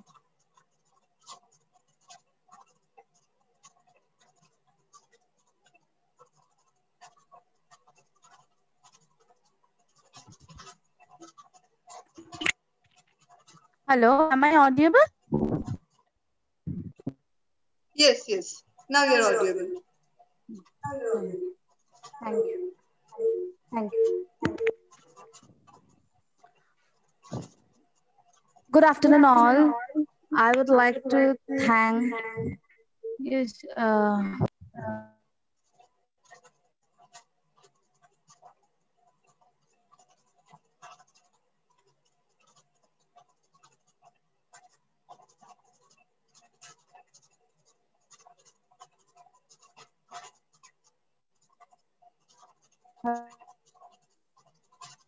Hello. Yes, yes.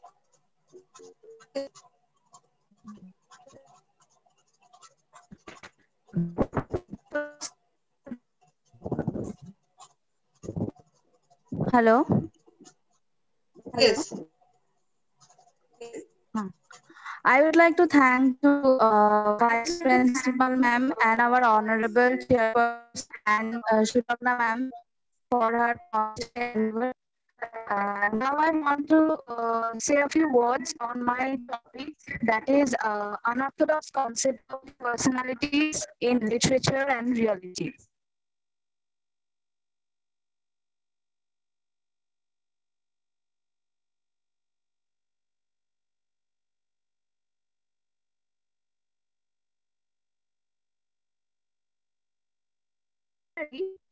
Gender or personality means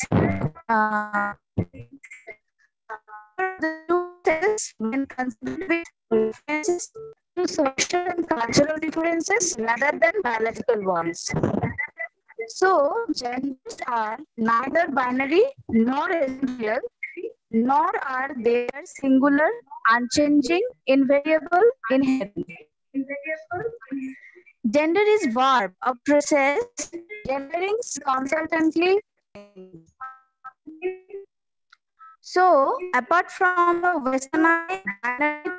personality or uh, approach to sex and uh, gender, the idea of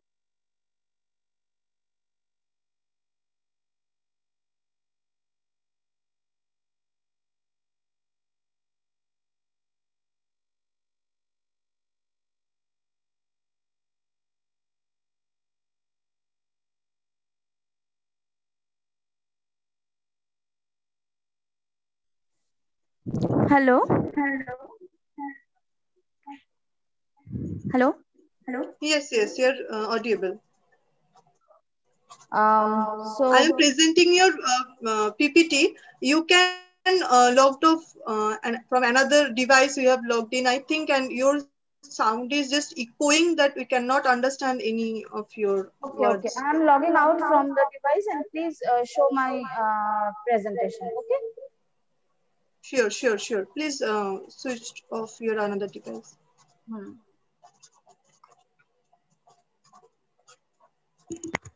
Yes. Am I clear? Yes, yes. Yes? Uh, thank you.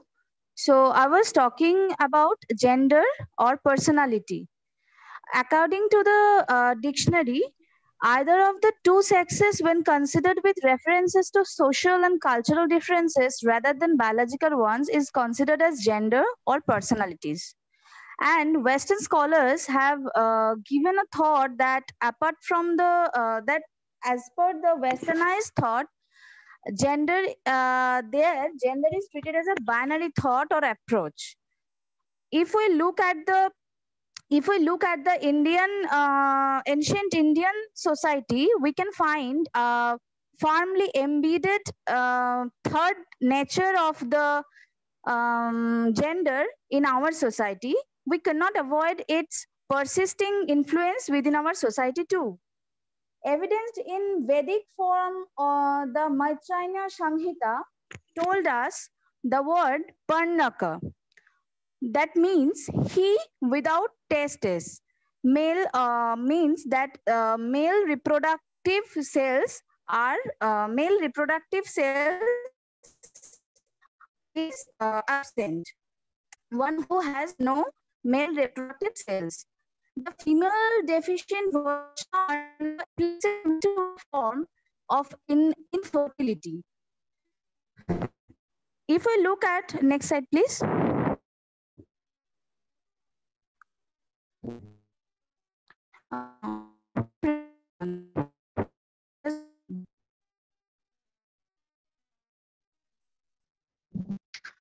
Okay. Etymological references to the words uh, synonymous to Parnaka, we find Vishusho, Shana, Nastyo, and so on. Some of these appear in the normative texts as well as the section dates. So look at the uh, notification we found that concepts of third method uh, uh,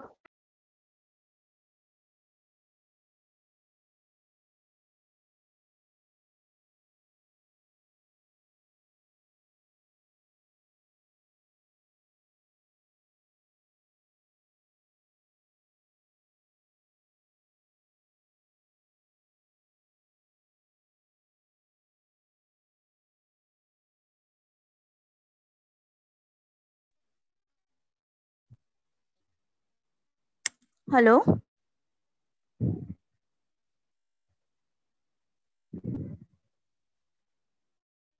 Hello.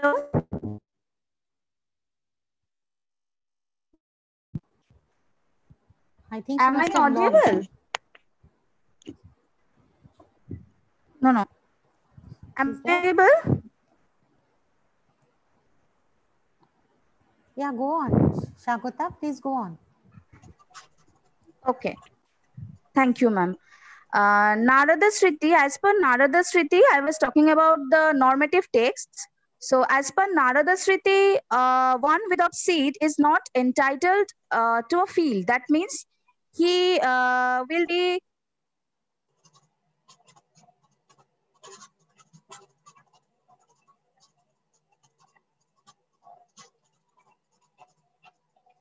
the inheritance share, they have no share in property. They can't look to a Brahmin who is eating and many more uh, social norms were applicable to them.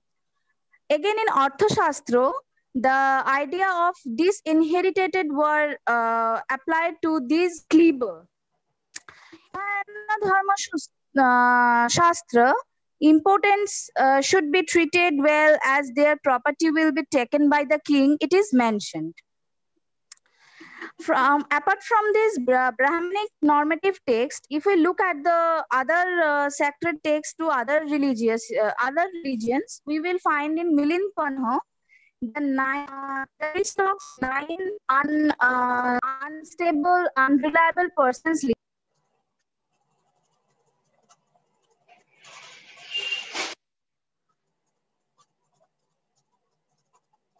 century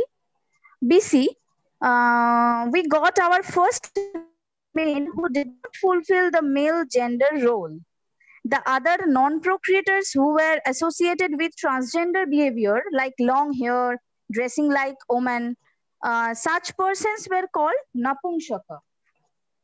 They were biologically male, adopted female characteristics. They were thought to be associated with uh, papam or sin.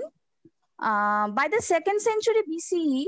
such transgendered males were termed as Tritiyo Prokriti, which is a very interesting word. Although Buddhist never accepts the such uh, transgenders, Kama Sutra tells us that Nagarakas, those who were uh, সমাজের শিক্ষিত নগর মানে আহ, সমাজের শিক্ষিত প্র- সমাজ শিক্ষিত শ্রেণী তারা তারা আহ, were the lines of passive or prostitutes and uh, medically identified uh, next slide please yeah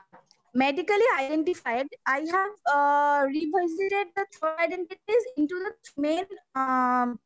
class that one of them is medically identified and here I'm talking about medically identified means three forms of homosexual relations we are taught embedded in the Indian ancient Indian society that were, were uh, between normative men, between normative men and transgender men, and thirdly, a normative male and a uh, perceiver. Let's talk about Charaka Samhita, our earliest uh,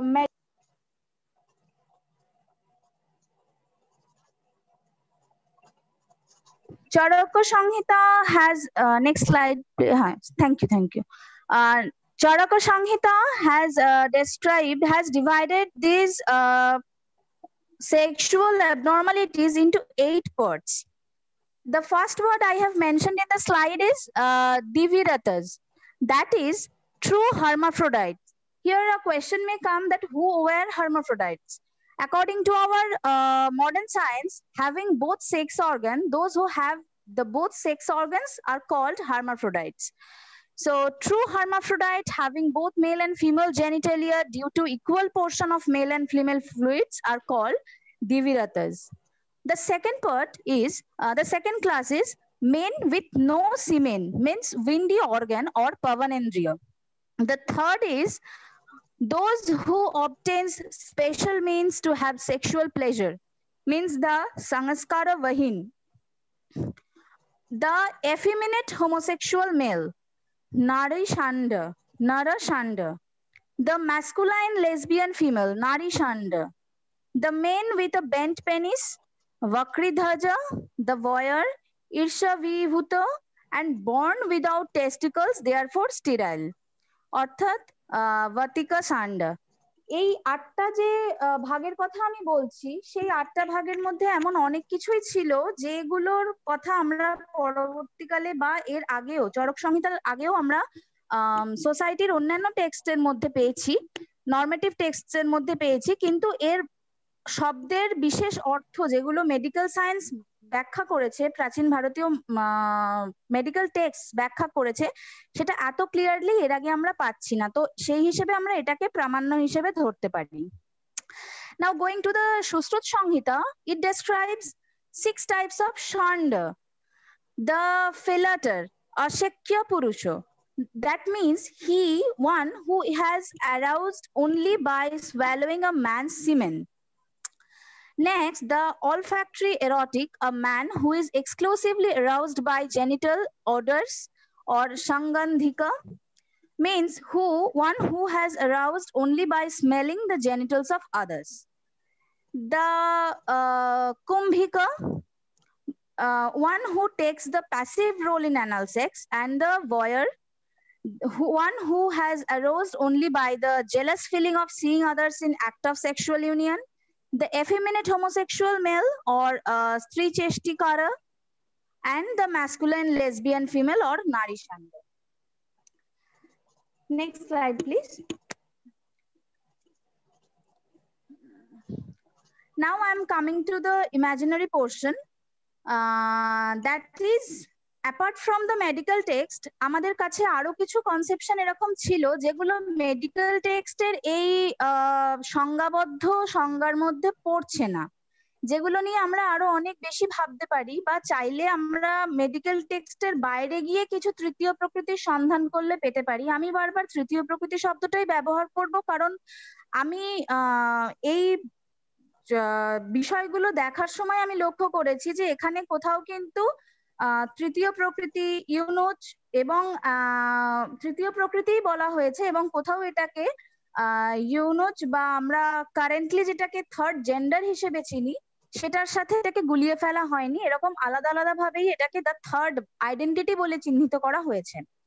তো এবার আমরা imaginary পোর্শনে আসি যেটাও ancient Indian কালচারে অনেক গভীর অব্দি প্রভাব বিস্তার করেছিল এবং যে কারণে বেশ কিছু উদাহরণ আমরা পাই যেখান থেকে ধারণা করাই যেতে পারে যে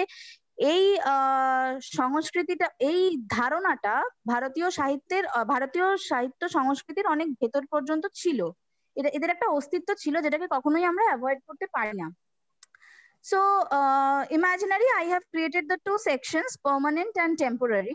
the permanent in the permanent section I would like to talk about Harihara sub subsect the first reference is seen from Harivamsha according to the Linga Purana Vishnu bane to Darubana as uh, as her female form of Mohini, and there um, also Shiva went and they became one. এটাকে আমরা কৃষ্ণ শঙ্কর হিসেবেও কোথাও পাই and according to agamic texts uh, the left side will be of Hara and the right side will be of Hari.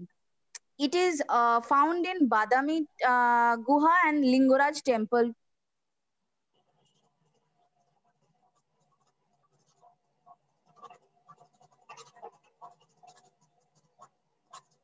please Ardhanarishvara R terracotta bust of an androgynous figure was found by John Marshall in Vaishali that is half male and half female within a bust that is called as Ardhanarishvara যেখানে আমরা বর্তমানেও শিব এবং শক্তিকে একসঙ্গে পূজিত হতে দেখি Again, in uh, Indian Indian mythology, talks বুধ গ্রহ uh,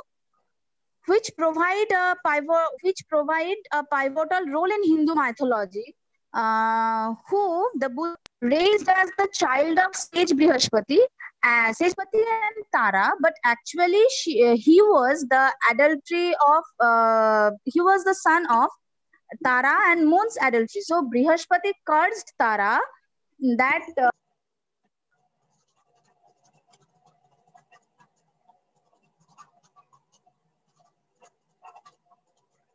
has this uh, kind of uh, kinds of hermaphrodite character. Again, in Ayappa, son of Shiva and Vishnu, uh, worshipped in South India, lives like a ascetic and considered as the syncretic form of Shiva, Vishnu, both. Next, coming to the temporary portion, uh, previously I have told that Indra, uh, as his Mohini form, tricks the uh, entered into the Daruvana. In this Mohini form, he also tricks Asura to help the gods in their uh, Samudra Manthana and to uh, uh he helped them by the female disguise to drink the Amrita. Again in uh, Shiva, we find Shiva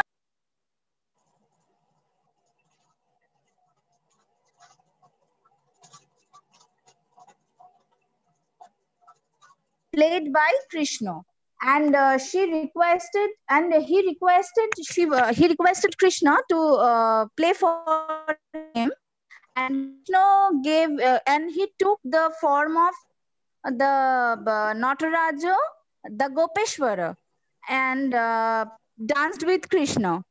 এখানে যেটা বলার সেটা হচ্ছে নটরাজের যে ভঙ্গিটা নিয়ে নটরাজের যে আহ মূর্তিটা আমরা নটরাজের যে ফর্মে আমরা শিবের এই রূপটা দেখতে পাই সেখানে এই এই জিনিসটা আমরা খুঁজে পাই গোপেশ্বর মথুরা টেম্পল সেখানে এই ফর্মে আমরা শিবকে দেখতে পাই যেখানে লিঙ্গের গায়ে নারী নারীর পোশাক পরানো আছে মানে নারীর অ্যাটায়ার আছে now another temporary form of this um, third nature we find in the Buddha and Dharma Sutra from uh, the king Rituparno. In his Agnishtam Yagna, ইন্দ্রাহুতি না দেওয়ার জন্য তিনি ইন্দ্রের ইন্দ্র তার প্রতি ক্রুদ্ধ হন অ্যান্ড বাইকার্স তিনি মহিলা রূপ ধারণ করেন এবং তার ফলে তার একটা তার এবং এর ফলে তার ট্রান্সফরমেশন হয় এবং তিনি মহিলা হয়ে জন্মগ্রহণ করেন এবং তারপরে দেখা যায় যে তিনি তার পুরুষ রূপের সময় প্রাপ্ত যে শত সহস্র পুত্র তাদের বদলে তিনি মহিলা রূপে প্রাপ্ত সহস্র পুত্রদেরই রাখার কথা বলেন এবার coming to my last slide that is a few few examples of this third nature one of them is of Devi we all know that the that in Kollam, a popular uh, festival named as uh, Chamayavali Lakhu festival, where the male worshippers dress as women each year for the ritual. Again, in Bahuchara the temple of Bahuchara Mata, is also considered as the patron of the um, of the Hijra community till date. In um, now, uh, in royal lineage, you also found uh, Hatshepsut in Mishor in Egypt um, Rudrama Devi, who was an independent king of Kakatiya of uh, Vaisal dynasty and ruled till about 12,089 CE. And uh, coming to the last slide, that is in uh, Mohammed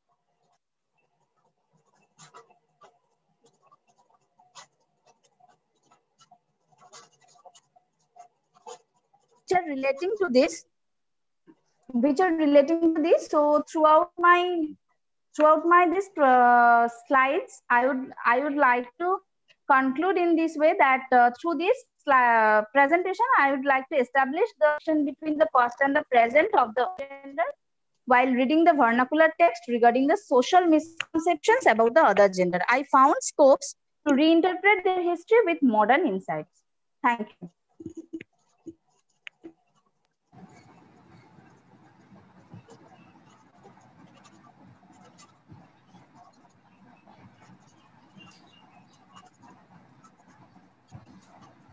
Thank you so much, Shagota, uh, for, discuss, uh, for discussing such an uh, engaging topic. We'll get back to you at the interactive session. আমাদের পরবর্তী বক্তা Arindam Ghosh MPhil গবেষক রবীন্দ্র ভারতী বিশ্ববিদ্যালয় ওনার আজকের বক্তব্যের বিষয় আদিবাসী জগতে চিরায়ত সংস্কৃতি ও আধুনিকতার দ্বন্দ্ব অরুণাচল প্রদেশের আপাতানি সমাজে নারীদের অবস্থানের একটি ঐতিহাসিক পর্যালোচনা শোনা যাচ্ছে আমার কথা হ্যালো হ্যাঁ হ্যাঁ আফটারনুন হ্যাঁ, সবাইকে আজকের আমার আলোচনার বিষয় মানে আমার প্রবন্ধের যে শিরোনাম আদিবাসী জগতে চিরায়ত সংস্কৃতি ও আধুনিকতার দ্বন্দ্ব অরুণাচল প্রদেশের আপাতানি সমাজে নারীদের অবস্থানের একটি ঐতিহাসিক পর্যালোচনা অর্থাৎ আমি বলবো আদিবাসী নারীদের নিয়ে অরুণাচল প্রদেশের এক এক আদিবাসী বসবাস করে যাদের নাম আপাতানি সেই মহিলারা এক ধরনের ট্যাটু ব্যবহার করেন মুখে তাদের মুখে এক ধরনের ট্যাটু দেখতে পাওয়া যায় এই ট্যাটু কি এই ট্যাটু ব্যবহার কেন শুরু হলো এই ট্যাটুকে নিয়ে যে ঐতিহাসিক বিতর্ক পাশাপাশি ট্যাটুর মধ্যে দিয়ে কিভাবে আদিবাসী ঐতিহ্য ফুটে উঠছে এবং আধুনিকতা আদিবাসী জগতে প্রবেশ করার পরে তারা কিভাবে মডার্নিটির সাথে নেগোসিয়েশনে আসছেন সেটাই আমার আলোচনার মূল বিষয় এবং এই বক্তব্যকে এবং সার্বিক যে বিষয়টা সবকিছুকে কেন্দ্র করে আমি না আদিবাসী সমাজে নারীর অবস্থান কেমন ছিল আপাতানি সমাজে সেটাই বলার চেষ্টা করব সেই জন্য সবার আগে যেটা জানা জরুরি সেটা হচ্ছে আদিবাসী সমাজে বা যে অরুণাচল প্রদেশের যে আপাতানি যে জনগোষ্ঠীর কথা আমি বলছি এই আপাতানি কারা আপাতানিরা হচ্ছে অরুণাচল প্রদেশে যে ছাব্বিশটা মুখ্য জনজাতি আছে তাদের মধ্যে আপাতানিরা সব থেকে বেশি প্রগতিশীল এরা বসবাস করে অরুণাচল প্রদেশের জিরো ভ্যালিতে এটা লোয়ার লোয়ার সুবর্ণশিরি ডিস্ট্রিক্টের অন্তর্গত সাতটা মূল গ্রাম এবং একটা টাউন নিয়ে এই জিরো ভ্যালি গঠিত এটাই আদি আপাতানিদের হোমল্যান্ড বলে পরিচিত আমরা এই ম্যাপে দেখতে পাচ্ছি ভারতের মধ্যে অরুণাচল প্রদেশের অবস্থান কোথায় এবং তার ঠিক পরের ম্যাপে দেখবো অরুণাচল প্রদেশের ম্যাপের মধ্যে যেখানে সুবর্ণশ্রী এবং জিরো যে রিজিয়ানটার কথা দেখতে পাচ্ছেন ম্যাপের লেফট সাইডে একটু ওয়েস্টার্ন সাইডে সেখানে আপাতানিদের মূল বাসস্থান এর পরবর্তী স্লাইডে আমরা যেখানে দেখছি যে এই আহ এখান থেকে এই আদিবাসী এই আপাতানিদের যে মূল জায়গা যে জিরো ভ্যালি তাদের যে হোমল্যান্ড সেটার একদম এন্টায়ার ভিউ পাওয়া যায় আমরা মূলত টাউনটাকে দেখতে পাচ্ছি এবং তার পরে পরে সারিবদ্ধভাবে গ্রামের অবস্থান রয়েছে সাতটা মূল গ্রাম এবং একটা টাউন তো আদিবাসীরা বেশ কিছু কারণে পপুলার গ্লোবালি পপুলার বিশেষ করে দু সালে এই জিরো ভ্যালিকে ইউনেস্কো ওয়ার্ল্ড হেরিটেজ সাইটের মর্যাদা দিয়েছেন তাদের সাস্টেনেবল অ্যাগ্রো ইকোনমির জন্য এবং এই অ্যাগ্রো ইকোনমিটা ফিশ কাম প্যাডি কাল্টিভেশন মানে একই জমিতে মাছ এবং ধান দুটোই চাষ হয় একসাথে সেই জন্য এই এইটার উপর ভিত্তি করেই তাদেরকে ওয়ার্ল্ড হেরিটেজ সাইটের মর্যাদা দেওয়া হয়েছে কিন্তু এর থেকেও আপাতানিরা যে কারণে সব থেকে বেশি পপুলার সেটা আদি আপাতানি নারীরা মুখে এক ধরনের ট্যাটু করে ছবিটা আপনারা দেখতে পাচ্ছেন কপালে যে এক ধরনের তিলক দেখতে পাওয়া যাচ্ছে তিলক দেখতে পাচ্ছেন এই তিলককে বলা হয় টিপ্পে এটা মূলত বাঁশের কঞ্চি ফুটো করে বাঁশের কঞ্চির মাথাটাকে সুচালো করে কপাল নাক থেকে কপাল বরাবর চিড়ে দেওয়া হয় তারপরে এখানে ভাতের ফ্যান এবং চারকোল দিয়ে জায়গাটাকে এঁটে দেওয়া হয় যার ফলে কিছুটা এরকম একটা পারমানেন্ট কালো রঙের দাগ দেখতে পাওয়া যায় এরপরে যে নিচের নাকের পোর্শনে দেখতে পাচ্ছেন নাকের দুই সাইডে কাঠের পেরেক টাইপের মানে পেরেক লোহার হয় কিন্তু কাঠের পেরেক ইমাজিন করুন সেটা যদি নাক চাবি হিসাবে নাকের দুই সাইডে ব্যবহার করা হয় তবে দেখা যাবে যে নাকের হাড়টা একটু ভেঙে এসে দুই সাইডে বেঁকে গেছে যার ফলে একটা বিভৎস রূপ লাগে নাকে এবং ঠোঁটের ঠিক নিচের ভাগে পাঁচটা পরপর দাগ দেখতে পাওয়া যায় তো এই যে নাকের যে পোর্শনটা এই পোর্শন এই প্রথাটাকে বলা হয় ইয়াপিং কপালের যে তিলক একে বলা হয় তিপ্পে এবং ঠোঁটের নিচের যে পোর্শন একে বলা হয় হুরলো বা হুরো তো এবং সার্বিকভাবে এই প্রথাটাকে বলা হয় তিপ্পে ইয়াপিং তো আমার মূলত এখন সবার আগে যেটা জানা জরুরি যে এই তিপ্পে ইয়াপিং প্রথার জন্ম হলো কিভাবে এই নিয়ে যে জেনারেল ইমপ্রেশন আছে একাডেমিক ওয়ার্ল্ডে সেটা হচ্ছে আদিবাসী নারীরা এই বিশেষ করে আপাতানি নারীরা অত্যন্ত সুন্দরী যখন ইন্টারট্রাইবাল রেড হতো আপাতানিদের যে পার্শ্ববর্তী জনজাতি আছে নিশি সেই নিশি জনজাতির পুরুষরা এই মহিলাদের কিডন্যাপ করে নিয়ে যেতেন তারপর তাদেরকে মলেস্ট করে স্লেপ বানিয়ে ওখানে রেখে দিতেন তাদের নিশি সমাজে তো আপাতানি নারীরা উপলব্ধি করে যে তাদের জীবনের এই অভিশাপের সব থেকে বড় কারণ তাদের সৌন্দর্য সেই জন্য তারা তাদের সৌন্দর্যকে বিসর্জন দেওয়ার চেষ্টা করে এই প্রথার মধ্য দিয়ে অর্থাৎ যত বেশি সম্ভব নিজেকে আনঅ্যাক্টিভ আনঅ্যাট্রাকটিভ দেখিয়ে পারা যায় একটা অসুন্দর রাখার প্রয়াস এটা তো এরই ভিত্তিতে এক ধরনের কনসেপশন ডেভেলপ করলো ইতিহাস চর্চায় যে আমরা মনে করি আদিবাসী সমাজ অনেক বেশি এগালিটারিয়ান নারীদের মর্যাদা অনেক উঁচুতে কিন্তু আপাতানি সমাজের দিকে যদি তাকাই দেখবো আপাতানি নারীরা যথেষ্ট পরিমাণে অবহেলিত লাঞ্ছিত কারণ পুরুষের লালসার শিকার হওয়ার জন্য নারীরা তাদের জীবনের একটা সব থেকে বড় অ্যাসেট সৌন্দর্যকে বিসর্জন দিতে বাধ্য হচ্ছে তো এই বক্তব্যই মোটামুটি একাডেমিক ওয়ার্ল্ডে প্রচলিত এরপরে দেখা যাচ্ছে যে ইদানিং উনিশশো পঞ্চাশের দশকের পর থেকে অরুণাচল প্রদেশে উনিশশো পঞ্চাশ ষাট সত্তরের দশকে অরুণাচল প্রদেশে যখন আধুনিক শিক্ষার বিস্তার ঘটলো তখন আপাতানিদের মধ্যে থেকে এক ধরনের শিক্ষিত এলিট শ্রেণীর আবির্ভাব ঘটলো এদের মূল বক্তব্য হচ্ছে যে যে গল্প আপনারা জানেন সেটা সম্পূর্ণরূপে আউটসাইডার্স ভিউ এর কোনো বাস্তব ভিত্তি নেই এই প্রথার যদি উৎস জানতে হয় কেন এই প্রথা পালিত হয় সেটা যদি জানতে হয় তাহলে ফিরে তাকাতে হবে আদিবাসীদের লিজেন্ড্রির দিকে ওরা লিজেন্ড্রি মৌখিক রূপকথা যে গল্পগুলো আছে সেই গল্পগুলো না জেনে এটা জানা সম্ভব না তাদের এই যে সমস্ত আদিবাসী স্কলাররা এই কথাগুলো বলেছিলেন তাদের মধ্যে প্রথম নাম থাকে কানি ইনি উনিশশো সালে একটা গবেষণা পেশ করেন এরপরে দু সালে পুরো তাদা এবং রিসেন্টলি দু সালে রুবু তানি বলে একজন আছেন এনারাই মূলত এই নিয়ে চর্চা করেছেন তাদের মূল বক্তব্য হচ্ছে যে এই প্রথার উৎস জানতে গেলে আপাতানিদের ওরাল ওরাল লিজেন্ডারির দিকে তাকাতে হবে সেখানে দুটো মিথের কথা বলা আছে প্রথম মিথ অনুসারে আপাতানিরা মূলত প্রেতাত্মার ভয়েই এই কাজ করতে শুরু করে এই এই ট্যাটু মুখে করতে শুরু করে বিষয়টা কেমন প্রাচীনকালে যখন ইন্টারট্রাইবাল রেড হতো তখন বহু মানুষ মারা যেত এবং তাদের মৃত মানুষের যে প্রেত আত্মা থাকতো তারা নাকি ঋতুব যিনি হত্যাকারী সেই হত্যাকারীর বাড়ির ঋতুবতী মহিলাদের অ্যাটাক করতেন সেই প্রেতাত্মা ফলে এই মহিলারা বারো থেকে চোদ্দ বছরের মধ্যে যাদের বয়স তারা আপাতানি যে পুরোহিত তাকে বলা হয় নিবু তার সামনে উপস তাকে সামনে রেখে তাদের যে মেল ভলেন্ট গড তাদের কাছে প্রার্থনা করে তাদের কাছে প্রার্থনা করতেন মেলভলেন্ট গডের কাছে যে যাতে এই এই এটা থেকে নিস্তার পাওয়া যায় এবং কপালে পারমানেন্ট ট্যাটু করে রাখতেন যাতে ট্যাটু করার মূল উদ্দেশ্য কি যাতে যে মানে হত্যাকারী বাড়ির যে মহিলারা যাকে তিনি টার্গেট করছেন সবাইকে যদি একই রকম দেখতে হয় এরকম বিভৎস তাহলে তিনি মানে ভূত ইমিডিয়েট টার্গেটকে সেটা ঠিক করতে পারবে না এইটাই আপাতানিরা মনে করতে তারপর থেকে এই প্রথা নাকি প্রচলিত আরেকটা মিথ অনুসারে আমি নিদন বিনি বলে একজনের নাম আছেন তো তিনি অপরূপ সুন্দরী ছিলেন এবং খুব গৃহকর্মেও যথেষ্ট নিপুণ ছিলেন তো তিনি মনে করতেন যে কোনো একটা সময় তার যে ডিজায়ার্ড ম্যান সে এসে তাকে প্রপোজ করবে এবং সে তার সাথে সুখে সংসার করবে এরকম একটা চিন্তা ভাবনা তার ছিল কিন্তু দিন কেটে গেল এবং দিনের পর দিন কেটে গেল তার যে ডিজায়ার্ড ম্যান সে তার কাছে কিন্তু এলো না এর ফলে তিনি ধীরে ধীরে ডিপ্রেসড হতে থাকলেন এবং এমন একটা বয়স আসলো মা হওয়ার সময়ও হারিয়ে ফেললেন তার যে দীর্ঘ ডিপ্রেশনের সময়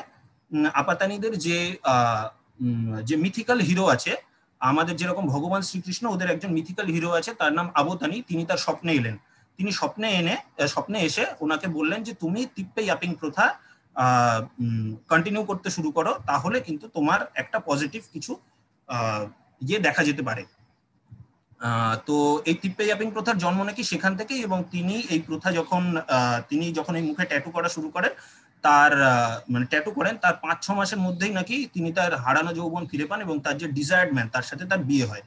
তো এই দুটো গল্পই মূলত প্রচলিত এগুলো তো গেল মিথের ভিত্তিতে কিন্তু হিস্ট্রির দিক থেকেও আমরা যদি হিস্টোরিক্যালিও আরেকটা বিষয় জানতে পারি সেটা হচ্ছে আপাত সেটা আপাতানিদের মাইগ্রেশন হিস্ট্রির মধ্যে লুকিয়ে আছে কি সেই বিষয়টা সেটা হচ্ছে আপাতানিদের আপাতানিরা বর্তমানে জিরো ভ্যালিতে বাস করলেও তারা মূলত তিব্বতের অধিবাসী তিব্বত দক্ষিণ তিব্বতের তাংসাংপো ভ্যালিতে তাদের আদি বাসস্থান সেখান থেকে তারা মাইগ্রেট করে টেন্থ সেঞ্চুরি নাগাদ এখানে এসে জিরো ভ্যালিতে এসে বসবাস করেছে তো চারটে সাবগ্রুপে বিভক্ত হয়ে তারা এখানে এসেছিলেন প্রথম তিনটে গ্রুপের নাম তাবুতানি জিরোতানি এবং দুশোতানি এই তিনটে গ্রুপ জিরো ভ্যালির নর্দার্ন ইস্টার্ন এবং যে সেন্ট্রাল জোন সেখানে এসে নাকি বসবাস করতে শুরু করে পরবর্তী যে গ্রুপটা যে বুড়িতানি তারা একটু লেটে এবং জিরো ভ্যালির সাউদার্ন পোর্শনে এসে সেটেল হয় এবারে একটা জিনিস দেখা গেল যে এরা যথেষ্ট মাইনর হওয়ায় এবং একটু লেটে এসে বসবাস করায় আগের যে পূর্ববর্তী গ্রুপ তারা এদের উপরে এক ধরনের ডমিনেশন চাপিয়ে দিল এবং যখন ইচ্ছা পরিতোষক নজরানা এসব আদায় করতে থাকলো যদি তারা সেটা না দিতে পারে তাহলে তাদের বাড়ির মহিলাদের গায়ে হাত তুলতো কখনো কখনো কিডন্যাপ করেও নিয়ে যেত তো তারা দেখলো যে না এভাবে চলবে না যে কোনো রূপে আমাদের জনসংখ্যাকে বৃদ্ধি ঘটাতে হবে তো জনসংখ্যা বৃদ্ধি ঘটাতে গেলে কি করতে হবে কিন্তু এরা তো আমাদের মহিলাদেরকে নিয়ে তো চলে যাচ্ছে তাহলে আমাদের জনসংখ্যার বৃদ্ধি ঘটবে কিভাবে ফলে তারা চেষ্টা করলো যে না যে কোনো রূপে মহিলাদেরকে আনঅ্যাট্রাকটিভ দেখাতে হবে যাতে তারা না নিয়ে যেতে পারে তো এইভাবে দেখা গেল যে যখন থেকে তারা এই ট্যাটুর এই টিপ্পেই আপিং প্রথা তাদের হাত থেকেই নাকি শুরু এবং যেদিন থেকে তারা ট্যাটু করতে শুরু করলো তাদের মহিলাদের সমাজে কিডন্যাপ হওয়া মানে তাদের গ্রুপের মহিলাদের কিডন্যাপ হওয়াটা বন্ধ হয়ে গেল এবং কালক্রমে এরাই জনসংখ্যার বৃদ্ধির সূত্র ধরে একটা ডমিন্যান্ট গ্রুপে পরিণত হলো এই বুড়িতানি সেকশন যারা এক সময় মাইনরিটি ছিল তারাই আজ তারাই একটা সময় ডমিন্যান্ট গ্রুপে পরিণত হলো পরে তারা তাদের এই ডিস্টিংক্ট ফিচারকে আরো বেশি করে পপুলার করার জন্য শুধু মহিলা নয় পুরুষরাও ট্যাটু করতে শুরু করে এবং এর সূত্র ধরে ধীরে ধীরে আপাতানি সমাজে আহ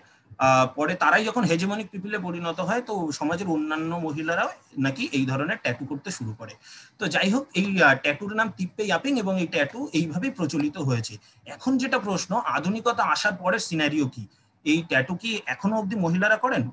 এর প্রথম উত্তর এর এক কথায় উত্তর না এর সব থেকে বড় কারণ হচ্ছে অরুণাচলে আধুনিক শিক্ষা বিস্তারের পরে সেখানকার মহিলারা সরকারের রিজার্ভেশন পলিসির সূত্র ধরে অনেক বেশি করে কর্ম কর্মসংস্থানের দিকে ঝুঁকছে এবং শিক্ষা এবং কর্মসূত্রে বাইরের জগতে তারা আসছে যখন তারা বাইরে আসে তাদেরকে কুটুক্তির শিকার হতে হয় এটা প্রথম আর দ্বিতীয়ত হচ্ছে বর্তমানে এই প্রথা যুগোপযোগিতা হারিয়ে ফেলেছে ফলে এই প্রথা ধীরে ধীরে ধীরে ধীরে অপলোপের দিকে এগিয়ে যাচ্ছে আর যথেষ্ট পেনফুল তো সেই জন্য আপাতানি সমাজেরই উনিশশো সত্তরের দশকে আপাতানিদের মধ্যেই এক ধরনের সেকশনের আবির্ভাব হয় যারা educated elite Apatani youth association বলে একটা অর্গানাইজেশন আছে এডুকেটেড এলিটদের গ্রুপ একটা ডোর টু ডোর ক্যাম্পেন করে এবং সরকারের সাহায্য নিয়ে এই নোস পাংচারিং বন্ধ করে দেয় এবং তারা এই অ্যাবলিশনের পক্ষে সওয়াল উঠায় তো ধীরে ধীরে ধীরে ধীরে দু বা দু সাল নাগাদ দেখা যায় যে এই প্রথা কোনো ইয়াং মহিলাই এই প্রথা আর পালন করে না আমরা যখন জিরো ভ্যালিতে ঘুরতে গিয়েছিলাম তখনও দেখেছিলাম যে বয়স্ক মহিলাদেরই দেখেছিলাম কিন্তু খুব রিসেন্টলি দু হাজার পনেরো ষোলো সাল নাগাদ আরেকটা ভয়েস আপাতানি সমাজ থেকে উঠছে যেটার মূল বক্তব্য হচ্ছে যে আপাতানি মহিলাদের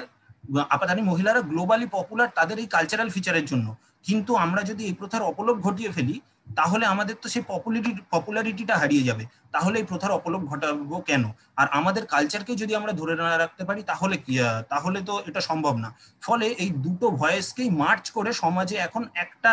একটা ইয়েতে আসা সম্ভব হয়েছে একটা মিডিল পাথ বেছে নেওয়া সম্ভব হয়েছে যেটার মিনিং হচ্ছে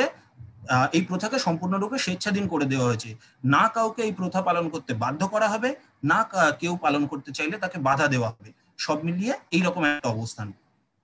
তো যাই হোক এই প্রথার ভিত্তিতে আমরা নারীর অবস্থানের যে জায়গাটা বলছিলাম যে নারীরা অনেকেই বলে থাকেন যে আপাতানি সমাজে মহিলারা অবহেলিত কারণ তাদের মধ্যে এই প্রথা রয়েছে তারা পুরুষের ইয়ে শিকার হ্যাঁ এ কথা ঠিক যে আপাতানি সমাজ পুরুষতান্ত্রিক পুরুষ এবং পিতৃমুখী সমাজটা কিন্তু এর অর্থ এই নয় যে আপাতানি সমাজে মহিলারা ডিপ্রেসড এবং তাদেরকে চেপে রাখা হয় বরং সমাজে নারীদের অবস্থান অনেক উঁচুতে কেন এবং এই কথা ভেরিয়া এলিউনে স্বীকার করে গেছেন আপনারা সবাই ভেরিয়া এলিউনের কথা জানেন ভেরিয়ার এলিউনও এই বক্তব্য স্বীকার করে গেছেন এর দুটো বিষয় আছে প্রথমত আপাতানি একটা কৃষিজীবী সমাজ এবং আমরা দেখব যে কৃষিকাজে সব থেকে মহিলাদের অবদান বেশি আপনারা যদি অরুণাচল প্রদেশের সেন্সাস গুলো ঘাটেন সেখানে দেখবেন যে কাল্টিভেটার্স বলে যে সেকশন আছে সেখানে মেলের তুলনায় ফিমেলের সংখ্যা বেশি ফলে মহিলারাই চাষবাসের বেশিরভাগটা দেখে সমাজের ইকোনমিটাই মহিলাদের হাতে তো সেই জন্য মহিলারা যথেষ্ট হায়ার স্টেটাস উপভোগ করে সমাজে দ্বিতীয়ত আরেকটা জিনিস এই সমাজে ব্রাইট প্রাইজের উল্লেখ আছে অর্থাৎ অনেকে ব্রাইট প্রাইজটাকে একটু অন্যভাবে নেন যে মহিলাদের কমোডিটি হিসাবে ভাবা হয় যে কিছু টাকা দিয়ে কারোর বাড়ির মেয়েকে কিনে নিয়ে নিজের বাড়ি চলে গেলাম এরকম টাইপের নাকি কনসেপ্ট থাকে কিন্তু বিষয়টা তা নয় আপনারা যদি আপাতানিদের ওরা লিজেন্ডারির দিকে তাকান বা আপাতানিতে আপাতানিদের মধ্যে যখন বিয়ে হয় তখন তারা যখন ব্রাইট প্রাইজ দেয় তা একটা মন্ত্র উচ্চারণ করতে হয় সেই মন্ত্রটার যে বাংলাটা এরকম যে আপনাদের পরিবারের একজন অ্যাক্টিভ মেম্বারকে আমরা নিয়ে চলে যাচ্ছি আজ থেকে আপনারা একটা ফাইন্যান্সিয়াল লসের সম্মুখীন হবেন আমরা যতটা সম্ভব আমাদের দানের মাধ্যমে এই ফাইন্যান্সিয়াল লস পুষিয়ে দেওয়ার চেষ্টা করছি এটা কিন্তু তাদের মন্ত্রে আছে ভেবে দেখুন যে আমরা যে আরবান যে সেকশন আরবান পিপল যারা তারা যেখানে ডাউরি নিয়ে আজ এত চর্চা হচ্ছে এত কিছু হচ্ছে সেখানে এই সমাজে ট্র্যাডিশনালি এই মন্ত্রটা কিন্তু রয়েছে তো নারীর অবস্থান যথেষ্ট উঁচুতে না থাকলে কিন্তু এটা সম্ভব হয় না তৃতীয় আরেকটা জিনিস আছে যেটাকে আমরা বলবো পাটাং এই পাটাং প্রথা হচ্ছে আপাতানিরা যখন কমিউনিটি ল্যান্ড চাষ করে তখন সব মহিলারা একত্রিত হয়ে তাদের ওই কমিউনিটি ল্যান্ড চাষ করতে যায় অর্থাৎ কোনো একজন গেলে হবে না দলবদ্ধভাবে মহিলাদের যেতে হবে ফলে এই দলবদ্ধভাবে যেতে যেতে তাদের মধ্যে একটা ফ্রেন্ডশিপ বন্ড তৈরি হয়েছে এবং এই প্রত্যেকে প্রত্যেকে সুখে দুঃখে পাশে থাকতে পারে এবং এই ফ্রেন্ডশিপ বন্ডের বেসিসেই একটা নতুন আপাতানি সমাজে একটা নতুন ফেস্টিভ্যালের জন্ম হয়েছে যেটাকে আমরা বলি ময়কো ফেস্টিভ্যাল যেটা মার্চ এপ্রিল মাসে হয় তো সেই জন্য এই মহিলারা আদিবাসী সমাজের মহিলারা বা আপাতানি সমাজের মহিলারা কেউ একা নয় যেটা মিডিল ক্লাস মহিলারা বর্তমানে মানে দেখতে পাওয়া যায় যে তাদের একাকিত্বের জীবন সংসারে কিন্তু আপাতানি মহিলাদের এই একাকিত্বের জীবনটা নেই প্রত্যেকে প্রত্যেককে পাশে পেতে পারে এটা একটা খুব বড় কারণ তো যাই হোক এরকম আরো অনেক কারণ আছে আরো সাত আটটা পয়েন্ট বলা যায় যেখান থেকে আপাতানি মহিলাদের সামাজিক অবস্থান অনেক উঁচুতে সেটা প্রমাণ করা যায় তো আমি সার্বিকভাবে বলবো যে এইভাবেই যে অরুণাচল প্রদেশের আমরা যখন ইতিহাস লিখতে যাই তখন দেখি যে বা শুধু অরুণাচল প্রদেশ বলবো না যে কোনো ট্রাইবাল হিস্ট্রি লেখার সময় দেখি যে তাতে বেশিরভাগটা পাওয়া যায় আউটসাইডার্স ভিউ অর্থাৎ বাইরের দেশের এই বাইরের লোকজন আদিবাসী সমাজকে নিরীক্ষণ করে যা লিখেছেন সেটাই এখানকার মূল বক্তব্য কিন্তু আমরা যদি আদিবাসী লিজেন্ডারি তাদের মৌখিক রূপকথা তাদের সেই বিষয়গুলো আরো ভালো করে পড়ি তাহলে জানতে পারবো যে এই আদিবাসী এই অনেক অনালোচিত দিক উঠে আসবে এবং অনেক বক্তব্য রিভাইজ করা সম্ভব হবে এবং এই যে আউটসাইডার্স ভিউ এই তিপ্পে ইয়াপিং প্রথা নিয়ে এই আউটসাইডার্স ভিউ কিভাবে জন্ম নিয়েছে সেটারও একটা হিস্ট্রি আছে খুব সেটা যদি কোশ্চেন অ্যান্সার সেশনে জানতে চান কেউ আমি বলবো সময়ের যথেষ্ট অভাব সেই জন্য আমি আর বলছি না তো আমরা যত বেশি এই আদিবাসী লিজেন্ডারি গুলো পড়বো মৌখিক রূপ কথাগুলো পড়বো আমরা তত বেশি সত্যের দ্বার প্রান্তে উপনীত হতে পারবো এবং যেভাবে আপাতানি স্কলাররা বা আদিবাসী স্কলাররা উঠে আসছে এবং তাদের সমাজের খুঁটিয়ে থাকা তথ্যগুলোকে এরকম ইতিহাস চর্চায় নিয়ে আসছে বা একাডেমিক চর্চায় নিয়ে আসছে তাতে সার্বিকভাবে আদিবাসী চর্চাটাই সমৃদ্ধ হচ্ছে ধন্যবাদ সকলকে থ্যাংক ইউ আমাদের ভাইস প্রিন্সিপাল ম্যাম এবং আমাদের আজকের চেয়ারপারসন সর্বাণী ম্যাম এবং পার্টিসিপেন্ট সবাইকে আমার আন্তরিক ধন্যবাদ ভালো থাকবেন সবাই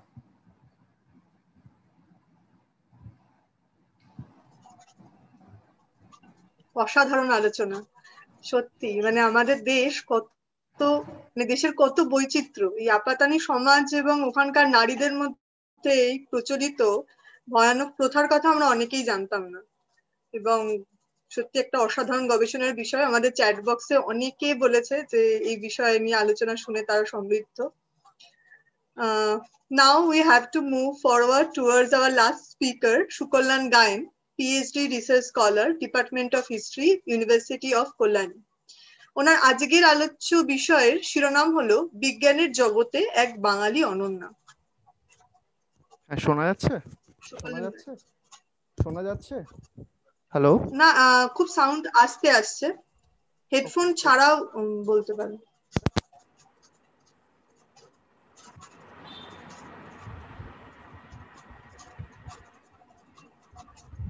হ্যাঁ এবার শোনা যাচ্ছে হ্যাঁ হ্যাঁ স্পষ্ট হ্যাঁ শোনা যাচ্ছে শোনা যাচ্ছে তো আচ্ছা স্লাইডটা একটু প্রেজেন্ট করি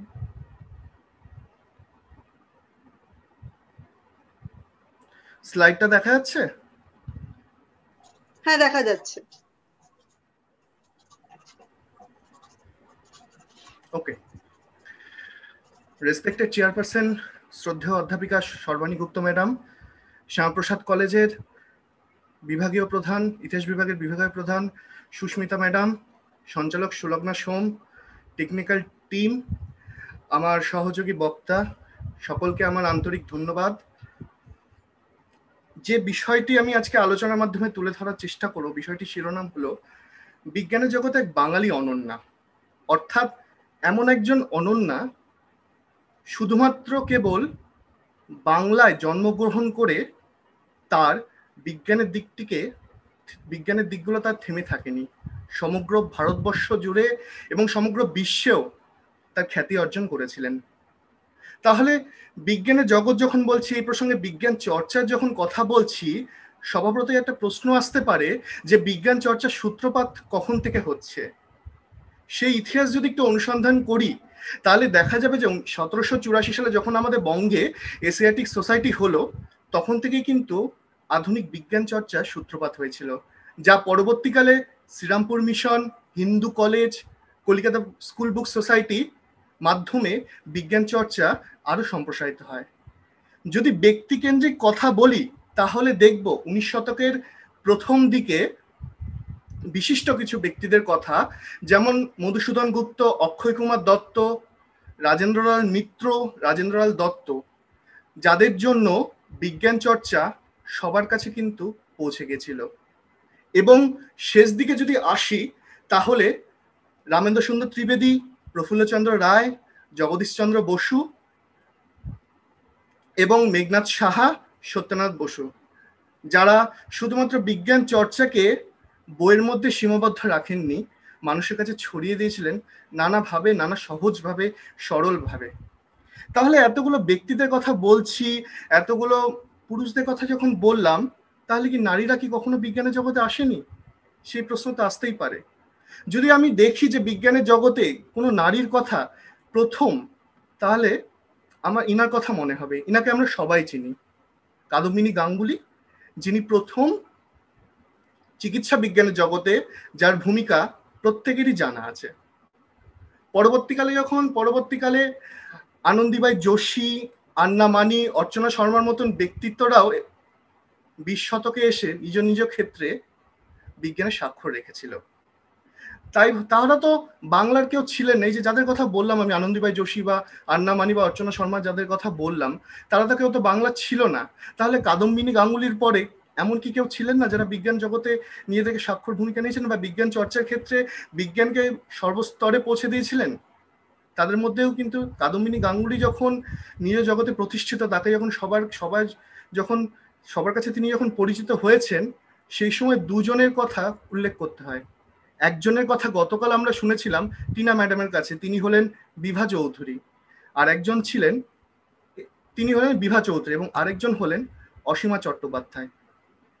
যার ভূমিকা জৈব রাসনে যার ভূমিকা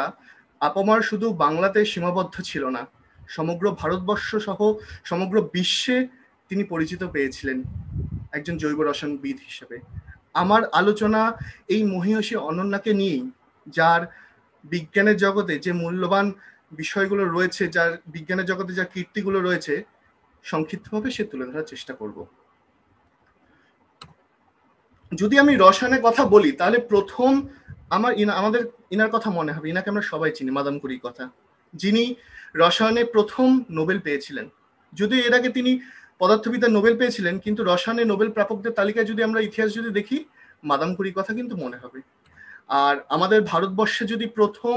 রসায়নবিদ বা প্রথম কোনো স্নাতক বা স্নাতক স্নাতকোত্তর এবং প্রথম কোনো ডিএসসি প্রাপকদের তালিকা যদি দেখি তাহলে আমরা কিন্তু প্রথমেই যে নামটা পাবো তা হলো অসীমা চট্টোপাধ্যায়ের কথা তার বাবা ছিলেন বিখ্যাত ইন্দ্রনারায়ণ মুখার্জী যিনি ছিলেন সেই সময় বিখ্যাত ডাক্তার মা ছিলেন কমলা দেবী অসীমা চট্টোপাধ্যায় প্রথমত বেথুন উনিশশো সালে ম্যাট্রিকুলেশন পাশ করেছিলেন বেথুন স্কুলে পরবর্তীকালে বেথুন কলেজ থেকে তিনি আইসি ডিগ্রি পান এবং স্নাতকে স্কটিশ চার্চ কলেজ থেকে তিনি ডিগ্রি পান সেই সময় শুধুমাত্র আমাদের কলকাতাতেই ওই সময়ে একমাত্র বিজ্ঞানে স্কটিশ চার্চ কলেজেই কিন্তু রসায়নে পড়ার সুযোগ হতো অসমা চট্টোপাধ্যায় সেই সুযোগটা পেয়েছিলেন এবং পরবর্তীকালে উনিশশো আটত্রিশে জৈব রসায়ন নিয়ে কলকাতা বিশ্ববিদ্যালয় থেকে স্নাতকোত্তর পাশ করেছিলেন এবং যত এগোবো তত তত আরো দেখবো যে তার বিজ্ঞানের জগতে তার ভূমিকাটা কি বা কি করেছিলেন যখন উনিশশো আটত্রিশে যখন কলকাতা বিশ্ববিদ্যালয় থেকে তিনি স্নাতকোত্তর পাশ করছেন ঠিক তার পরবর্তী সময় তার প্রধান ভূমিকা ছিল লেডি ব্রেবন কলেজের ডিপার্টমেন্ট অফ কেমিস্ট্রি এই প্রতিষ্ঠা হয়েছিল মূলত এই বিভাগটি তার উদ্যোগে কিন্তু প্রথম সূচনা হয় বলতে গেলে কলকাতায় কোনো কলেজে রসায়নে প্রথম কোনো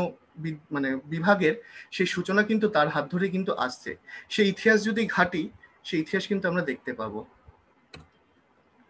যদি এবার তার ব্যক্তিগত ক্ষেত্রে বলি উনিশশো চুরাশি চুয়াল্লিশ চুয়াল্লিশে তার বিবাহ হচ্ছে সেই সময়কার বিখ্যাত বিজ্ঞানী ডক্টর বরদানন্দ চট্টোপাধ্যায় তার সঙ্গে বিবাহ বিবাহ বন্ধনে তিনি আবদ্ধ হলেন এবং পরবর্তীকালে এক বছরের মাথায় তার কন্যা সন্তান হলেন জুলি চট্টোপাধ্যায় যিনি আজ বর্তমানে একজন স্বনামধন্য রসায়নবিদ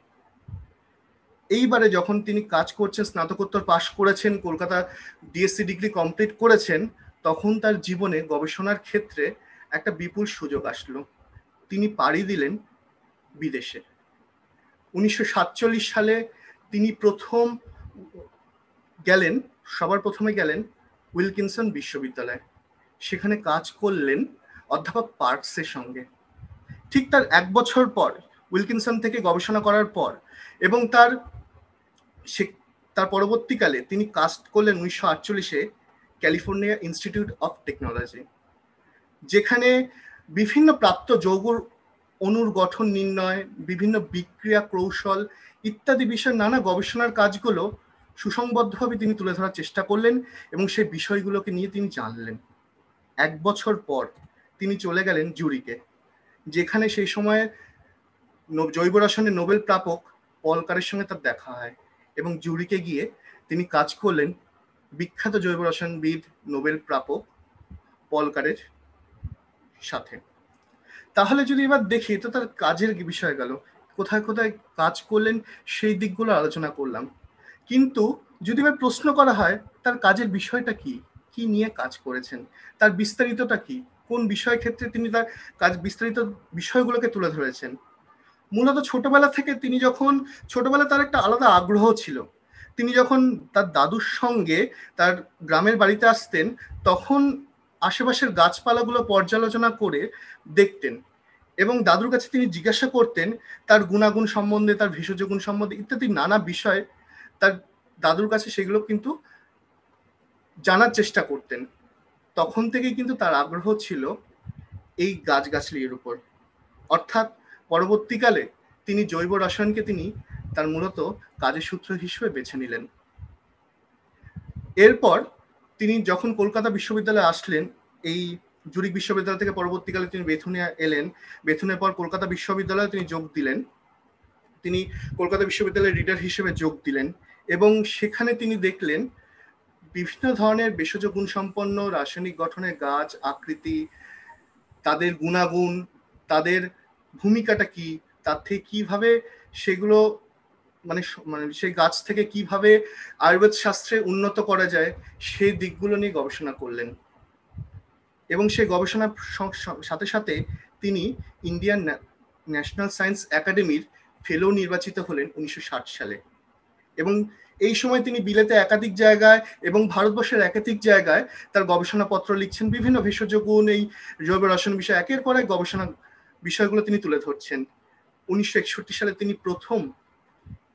মহিলাদের মধ্যে প্রথম শান্তিনগর শান্তিস্বরূপ ভাটনগর পুরস্কার পেলেন বিজ্ঞানের সর্বোচ্চ পুরস্কার অর্থাৎ তার এই যে আমি যখন বলছি যে তার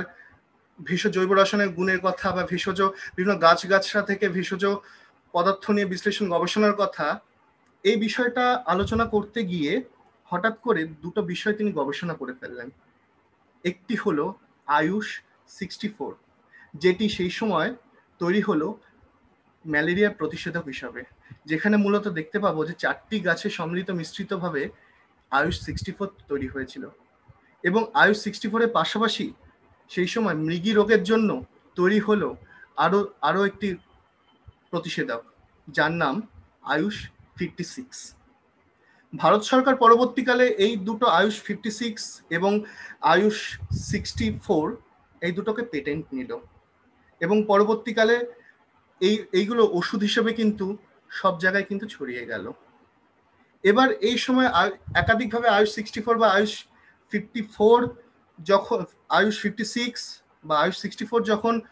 সমাজ বিভিন্ন জায়গায় প্রতিষেধক হিসেবে ব্যবহৃত হচ্ছে ম্যালেরিয়ার ক্ষেত্রে বা মৃগী রোগের ক্ষেত্রে দেখা গেল যে অসীমা চট্টোপাধ্যায় যখন কলকাতার মানে তার দপ্তরে বা কলকাতা বিশ্ববিদ্যালয়ে গবেষণা করছেন একের পর এক তার কাছে ভিড় করছেন তাই প্রতিষেধকের জন্য তার এটা গুণাগণের জন্য এবং তার কাছে পড়ার জন্য শেখার জন্য কিন্তু তবুও তার কোথাও যেন একটা মনে হলো বাংলা ভাষায় চর্চাটা খুব প্রয়োজন কারণ তিনি যে কাজগুলো করছেন তিনি যে গাছগাছালির কথা বলেছেন এবং সে গাছগাছালি থেকে প্রাপ্ত যে তাদের যে গুণাবলীর কথা বলেছেন সেগুলো তিনি মনে করেন আপামর জনসাধারণের কাছে তুলে ধরা প্রয়োজন এবং সেই কারণে তার উল্লেখযোগ্য এই সেই সময় ভূমিকাও তিনি নিয়েছিলেন ভূমিকাটা কি সেই সময় ভারতীয় বনৌষধি বনৌষধি নামে ডক্টর কালীপদ বিশ্বাস এবং এককরি ঘোষের বেশ কিছু খণ্ড প্রকাশিত হয়েছিল যেখানে ভারতে বিভিন্ন গাছগাছের বিভিন্ন রকম তার গুণাগুণ ভেষজ গুণ নানা বিষয় সেখানে তুলে ধরা হয়েছিল অসীমা চট্টোপাধ্যায় এই খণ্ডগুলোতে প্রথমত মুখ্য সম্পাদিকার কাজ শুরু করলেন এবং পরবর্তীকালে নিজেও একটি বই লিখলেন সেটি হলো ভারতের বনৌষধি সেখানে তুলে ধরলেন বিভিন্ন বনষধির কথা বিভিন্ন গাছের কথা বিভিন্ন ভেষজ নির্যাসের কথা এবং এই বনৌষধি ব্যবহারের ফলে সমাজে কি হতে পারে এবং তার ভবিষ্যত কি তারও একটা ব্যাখ্যা কিন্তু তিনি তার এই আলোচনায় তুলে ধরলেন শুধু সেখানেই থামেননি তার পরবর্তীকালে সত্যেশচন্দ্র পাকরাশির সাথে national institute of science communication communication Delhi প্রযোজনায় আরও একটি বই প্রকাশিত করেছিলেন the treatise on medical Indian medical plants সেখানেও তিনি দেখালেন একাধিক গাছগাছড়ির কথা তাদের গুণের কথা তাদের বিক্রিয়ার কথা এবং তাদের পরিবেশে তার ভূমিকার কথা এবার আসা যাক বাংলায় ফিরে আলেন বাংলায় এবার তিনি কাজ করতে আরও তৎপর হলেন কাজটা কি সেই সময় সব উনিশ স্বাধীনতার আগে যখন আমাদের স্বাধীনতা হচ্ছে উনিশশো সাতচল্লিশে তখন সেই সময় সত্যনাথ বসুর উদ্যোগে আমাদের বঙ্গীয় বিজ্ঞান পরিষদ গঠিত হয়েছিল প্রতিষ্ঠিত হয়েছিল যার পরবর্তীকালে জ্ঞানবিজ্ঞান পত্রিকা এক বছর পর প্রকাশিত হয় সেখানে বড় ভূমিকা নিয়েছিলেন অসীমা চট্টোপাধ্যায় কারণ এই যে পত্রিকা এই যে জ্ঞানবিজ্ঞান পত্রিকা তার মূল উদ্দেশ্য ছিল সমাজের সকল শ্রেণী মানুষের মধ্যে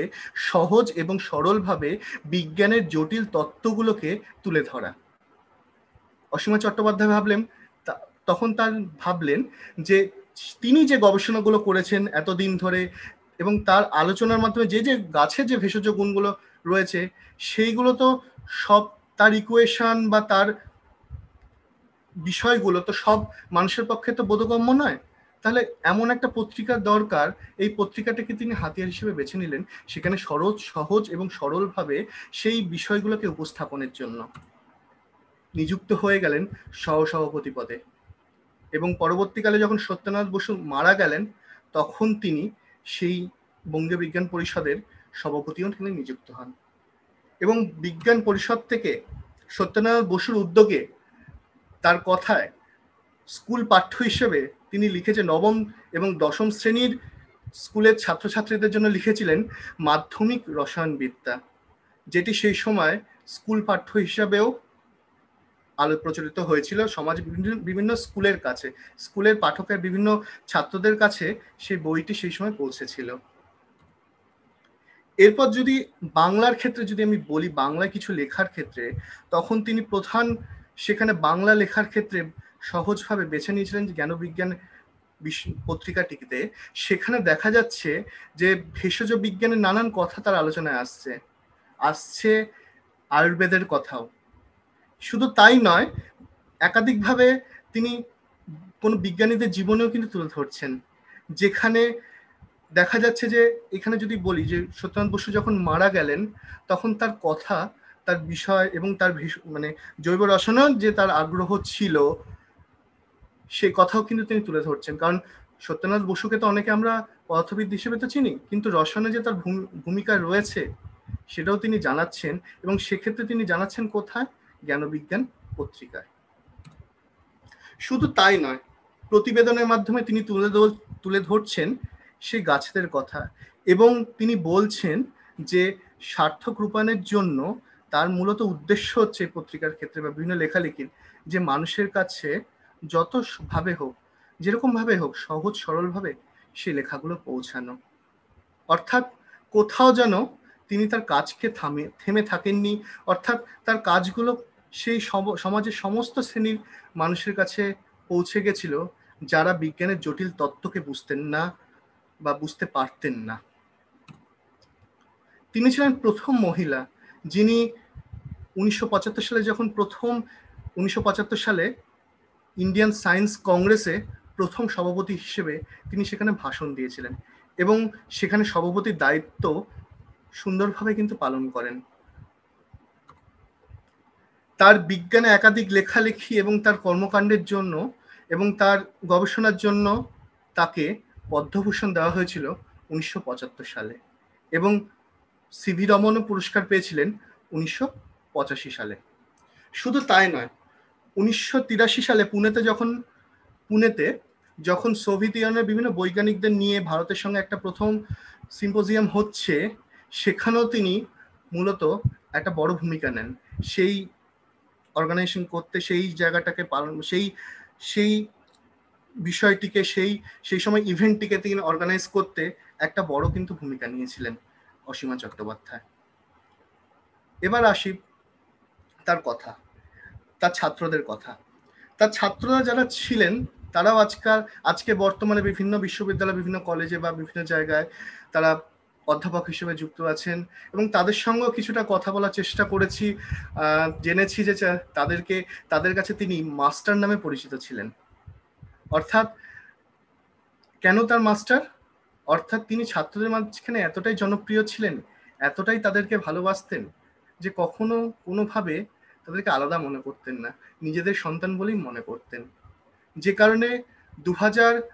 সতেরো সালে যখন তার জন্ম শতবর্ষ হলো তখন তারই স্বনামধন্য ছাত্র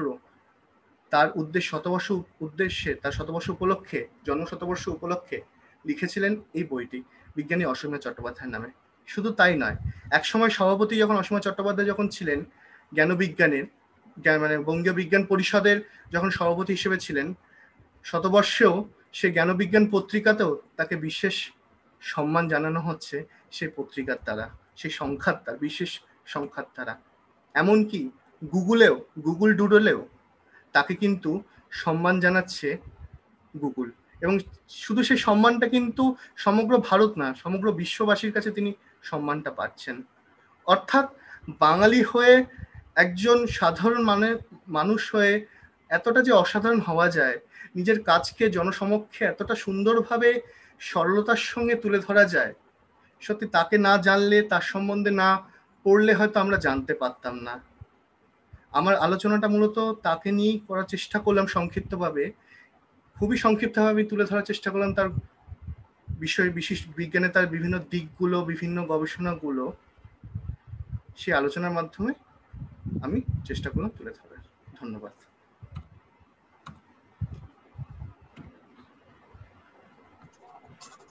থ্যাংক ইউ সুকল্যাণ গায়েন গতকাল আমরা বিভা চৌধুরীর সম্বন্ধে জেনেছিলাম আজকে জানলাম অসীমা চ্যাটার্জির সম্বন্ধে এইমাত্র আমার সঙ্গে আমার কলিগ মিঠুন গায়নের আলোচনা হচ্ছিলেন তো উনি বলছিলেন যে ওনাদের ওনারা যখন রাজাবাজার সায়েন্স কলেজে কলেজে ইউনিভার্সিটিতে যখন ক্লাস করতেন ক্যালকাটা ইউনিভার্সিটি রাজাবাজার সায়েন্স ব্রাঞ্চে তখন কেমিস্ট্রিতে ওনাদের ক্লাস নিতেন জুলি ব্যানার্জি অসীমা চ্যাটার্জির মেয়ে উনি এবং ওনার মুখেই শোনা অসীমা চ্যাটার্জির সম্বন্ধে বিভিন্ন কথা এবং আমার জেনে ভালো লাগছে যে উনি স্কটিশ চার্চ কলেজের একজন শিক্ষার্থী ছিলেন সেটা আমার গর্বের জায়গা যাই হোক খুব ভালো লাগলো শুনে ওনার সম্বন্ধে আলোচনা So after these five excellent papers, I now request our chairperson to share her observation on these five papers. Ma'am. Thank you very much. Uh, I really enjoyed all the papers, first and foremost. That is what I have to say. But in my role as um, uh, the chair, I can't only just listen and enjoy, I have to also comment. So, um, for the first paper, Titash, who talked about um, um, women in uh, ancient period in uh, Kashmir. I, I have um, I really enjoyed your paper, especially all the points that you have raised about the equal participation in um, not simply in uh, the religious ceremonies, but also in administration. But you are mainly talking about the royal families, the the rulers and all these women of course did not come to power as uh, um, uh, on their own but they were by default so as to speak but at least they were not simply regents uh, so I have one big problem with your paper is that you are uh, dealing with this whole aspect rather simplistically. Um, I, I feel that there should be a little more um, nuanced restructuring of your paper. For example, when you are um, uh, talking about equal participation, you have to question that itself, you know, because already there are a lot of feminist scholars who are talking about whether when we talk about uh, equal participation mm, in the past, in the ancient period, that is really not the true picture because you, in the, there is only uh, empowerment uh, in the uh, upper classes. But what about the um, no, uh, lower classes. They are not what a, uh, uh, you, you, must read. I'm sure you have already read um, what happened to the Vedic Dasi. You know, so that also has to come in within your discussion whether or not uh, it is applicable to your paper you your awareness of that aspect of research must come in secondly you are only talking about the chronicles which is why um, you, you can only uh, generally kalhans rajtarangini possibly so um, in that case, obviously only the ruling classes will be focused on. So if you could contrast uh, Raj Tarangini with another uh, source, another source which is not uh, a chronicle, but um, I can't remember exactly the um, name of the um, uh, Shuchandra would have been able to uh, help you much more. I mean, if you contact her, she will. I know that there is um, there is a, a, uh, a, professor in Jammu University who works on that source. It is, uh, I think, some kind of a um, uh, what what is similar to our panchalis you know in it's it's a purana from um, kashmir uh, from um, jammu kashmir so if you use some other sources then maybe the other classes will be much more visible so eh, you have to always use a multiplicity of sources so so that your own arguments i'm not arguing against your arguments but your arguments have to be framed within other arguments you know to make your point you can't just uh, use one source to say you can't pick out just like you can't pick out two sloka or three slokas from one person and say he is a feminist. You don't know. That doesn't prove anything that Varahamidia was a feminist. You can't say that because there are ma- alternate, um, many other slokas that can be uh, quoted to say, to show that he wasn't, you know, he wasn't in support of women. So, um, because uh, I, I, can't get into all that but so what i'm trying to say is that when you are putting your framework it must be uh, within uh, the larger framework of res research okay so i hope that will help you um, pushpa das you in your your work is also excellent i really enjoy i have always enjoyed listening to the um, mm, portochitro singers performing their thing that i have always uh, enjoyed very much but in your case also i have a methodological problem uh, with your paper you have only based your uh, arguments um, uh, well you have based your paper on certain interviews alone. But in the beginning, you talked about a linkage from you mentioned Guru Shodhay Dotto and you brought in a kind of a linkage, link between, um, first of all, uh, when you are talking about um, uh, these arts and crafts, whether the colonial period at all is important whether this 1947 divide is at all important in that time frame is something you have to check because uh, the colo- how much did the colonies, I mean, how much did the British colonizer uh, play a role in the formation or the um, uh, or you know the perpetuation of this um, craft we don't know i mean that is something that you have to uh, problematize and then if you are bringing in the pre-colonial points of view then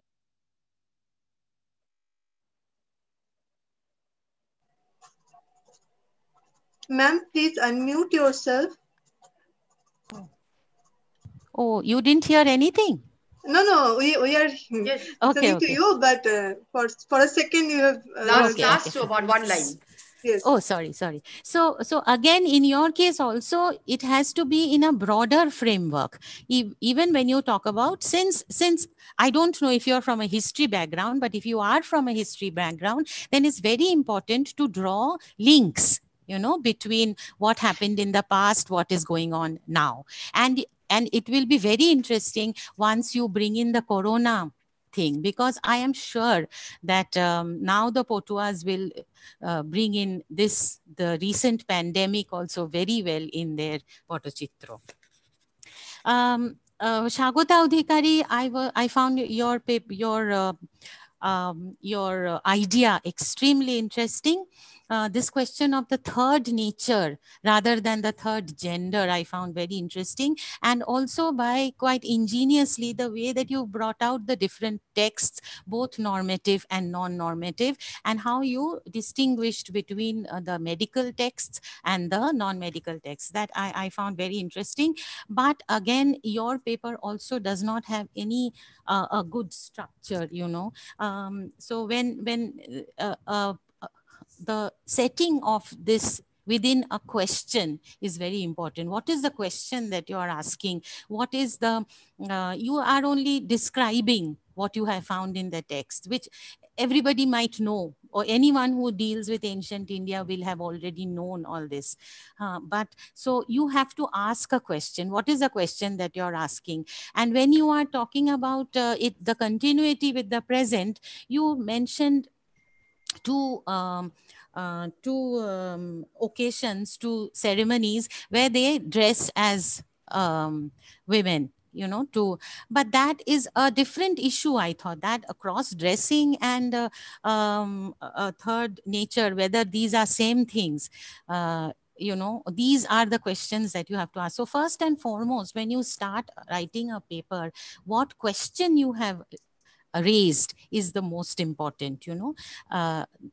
I don't know if you understand what I'm trying to say, but you're instead of being simply uh, descriptive, you have to bring in some questions. Okay, uh, but it was very interesting for me at least. Orindam mm, Ghosh, I really enjoyed your paper. It's very well done. Uh, extremely focused that this kind of focus is something that even we cannot achieve we always bring in a huge scope and then really uh, get lost in the arguments. But I'm very glad that you started with an extremely good focus, very good choice of. Um, I also like the way that you talked about how, um, uh, you know, what their own ideas of uh, reasons and what the British, uh, I mean, what the Westerners have. I really like this kind of uh, argument. But there are two questions that I wanted you to also bring in this kind of an argument. One is whether or not one thing that I uh, you should question is whenever these um, people from within their tribes um, talk about their own customs, their own mythologies, that itself needs to be scrutinized a little and whether uh, who the, the ones who are doing it whether they are following uh, that scrutiny one and secondly to see what the impact is of these women uh, and the the choice that they have i think that's the most important you should have started your paper with saying that uh, from the gender perspective, they have the greatest empowerment because they have the empowerment of choice. You know, whether or not they want to do it, they have the choice. That is, I think, the greatest achievement of any gender um, uh, thing. But um, but also whether there is any impact on other tribes within Arunachal Pradesh and well as the neighboring states because there are so many tribes there so what their um, impact is and in the final paper uh, shukolan gain also very interesting paper i was like um, um, Shulagna, uh, we belong to Lady Brabant College. So I was also extremely proud of the fact that she started the chemistry department, though I really didn't understand. Um, she seems to be more interested in the plant chemistry rather than well um, that is something i don't understand science very much uh, I, shukolan your paper also i feel should bring in some little more of the gender aspects maybe from her own analysis of um,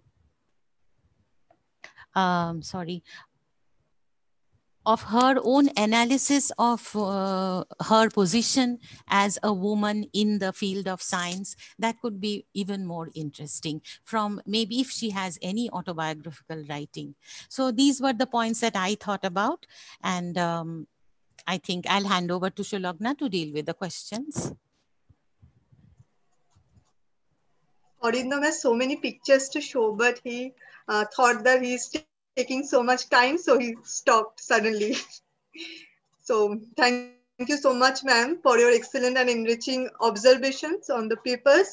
It will surely uh, beneficial for our speakers and we are extremely delighted and honored to have you as a chairperson. Uh, this is a time for the interactive sessions. Participants have asked so many questions and they have appreciated all our speakers.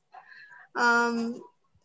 Ma'am, you have two questions, two or three questions I am asking you first. Okay. Uh, the first question is from Shivli Mukherjee. Uh, Ma'am, you mentioned that they were daughters of prostitutes. So, didn't it create any problem among the theater groups? How were these actresses were treated? Well, uh, that is the beginning and the end of the whole story. There was a huge outcry from the very beginning because of the fact that they, if not prostitutes themselves, they were children of prostitutes, and it was considered that uh, that these women were contaminating the theater as such. You know that their entrance had destroyed theater. That was the attitude which went on till at least 1920s, 30s, and all the women, uh, I mean, even when they are writing, whether it's poetry or uh, they are only giving arguments about how how they are not you know that they are doing a huge you know that they are very sinful so that only ramkrishna they can save them you know so uh, they are themselves apologetic about uh, coming from you know ba- bad backgrounds and of course all the uh, the entire society, including the women in the society, uh, actually looks down upon them. And as I told you, all the men who participated in the theater along with them are immediately ostracized. Unlike Baijis, Baijis are also from that kind of background, but they are never ostracized for the simple reason they don't interact with uh, uh, how, household men but in the theater middle class men were acting with them you know interacting with them. So uh, the whole theater was considered to have been contaminated by them. Apona Bandhavadhyay, ma'am, has appreciated okay. your presentation. Uh, she is saying that Shab Thank you, Apona. wonderful presentation. And uh, she has a question also what a uh, coincidence. It was writing on women's uh, legal battles in colonial Bengal. This was uh, this very morning. Could you please explain how legal battles empowered women? Uh, for me, most of all, it gave them a voice. I mean, it gave them a vision. I mean, we can today, when we look at women, uh, th there were a lot of women in legal battles. And I feel that that was uh, the colonial government actually gave, provided that space, you know, for them to come out um, in, in a sense. But uh, most of the these actresses, unfortunately, don't actually, um, can't, I mean, doesn't really prove anything because in most of the cases, um, they, it, it was said that, you know, whether it they said it themselves or it it was uh, an excuse. It was said that actually they have absolutely no say in the cases, but their lawyers were actually dealing with it, or or their patrons were, were working on their behalf. You know, so um, I don't know whether they got empowered because of these legal battles, but I just find that from at least zero, if they have come to three. Uh, that was a kind of an emancipation. That's what I, I feel, you know another question is from uh, Deepika Bali. Uh, she is asking, women from good families or Bhadralok houses were not allowed to act in theatres. What about the women singers? Were they restricted here too?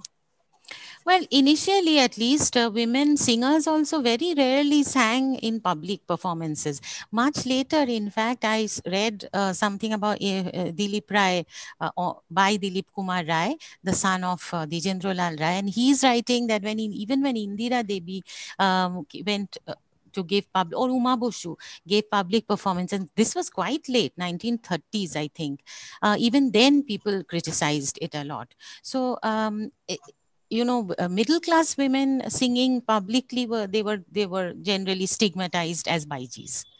so I think it was Jorashako and the performance of women there which actually made a huge break. But I don't know why there is not much writing on this. I think somebody it, there there should be much more writing because what they did by allowing their own household women to participate in almost public performances where a lot of people used to be invited to those and people used to know about them at least you know even if they didn't attend they read about it everywhere it was a huge um, uh, what should i say a huge step forward but yes it, the same stigma for both singers and uh, actresses and there were no uh, middle class women in acting at all Thank you so much, ma'am. Our uh, next question is for Tita Sharkar. Olivia Borshak is asking, can you explain elaborately the concept of sati in early Kashmir?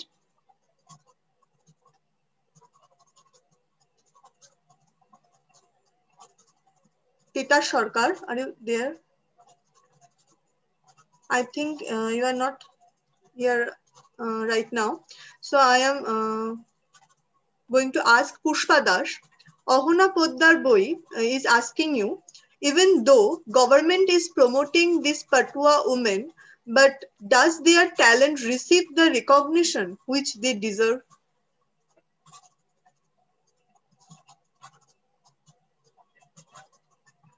Pushpa Dash.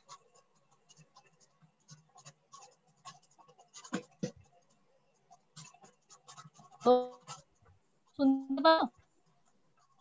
শুনতে পাচ্ছ হ্যাঁ হ্যাঁ হ্যাঁ শোনা যাচ্ছে শুনতে পাচ্ছিস হ্যাঁ শোনা হ্যাঁ। যাচ্ছে thank you Ahana for your okay তো আজকে অহনা যে প্রশ্নটা করেছে সেটার উত্তরটা এটাই বলি যে পটু আর্টিস্টদের তো আমাদের এখানে একটা এনজিও আছে মানে বাংলা নাটক ডট কম বলে তারা ইউনেস্কোর সাথে অনেক কোলাবোরেশন করছে এবং ইউনেস্কো তাদেরকে অনেক রকম অপরচুনিটি দিচ্ছে যে কোলাবোরেটিভ প্রোগ্রাম হচ্ছে ইভেন এই চিত্রতর চিত্রকর কমিউনিটির মধ্যে যারা পটুয়া আর্টিস্ট দুটো মানে মহিলা আর্টিস্টও আছে মেল আর্টিস্টও আছে তো এই মহিলা আর্টিস্টদের অনেক বেশি যেমন স্বর্ণর নাম বললাম এরকম আরো অনেক আর্টিস্ট আছে তাদেরকে কিন্তু রেকগনাইজ করা হচ্ছে এবং রেকগনিশন দেওয়া হচ্ছে তারা অল ওভার ওয়ার্ল্ডে বিভিন্ন জায়গায় ওয়ার্কশপ বিভিন্ন জায়গায় কোলাবোরেটিভ প্রোগ্রাম করছে এবং তাদেরকে সেই জায়গায় নিয়ে যাওয়া হচ্ছে এবং সেখানকার আর্ট গ্যালারির সঙ্গে একটা কোলাবোরেটিভ প্রোগ্রাম করে তাদেরকে দিয়ে এই ধরনের পটচিত্র সহ লেকচারগুলো দিচ্ছে আর সর্বাণী ম্যাম যে প্রশ্নটা বললেন আমি তার সাথে এগ্রি ওরা কিন্তু এখন করোনা নিয়ে বিভিন্ন ধরনের পটচিত্র অঙ্কন করেছে এবং তার সঙ্গে যে ফেস মাস্ক এখন ভীষণ এসেন্সিয়াল একটা পার্ট সেই মাস্কটা ওরা তৈরি করছে বিকজ মাস্কের কাপড়ের ওপর ডিজাইন করে দিচ্ছে বিকজ তাদের লাইভলিহুডটাকে চালানোর জন্য কারণ এই মুহূর্তে তাদের সঙ্গে কোনো প্রোগ্রাম অ্যারেঞ্জ হচ্ছে না থ্যাংক ইউ ম্যাম এই বিষয়টা তোলার জন্য আই থিঙ্ক তিতা সরকার is here now Tita Sarkar can you hear me Titas Uh, so you have two questions. First question is from Olivia Boshak. Uh, can you explain elaborately the concept of sati in early Kashmir?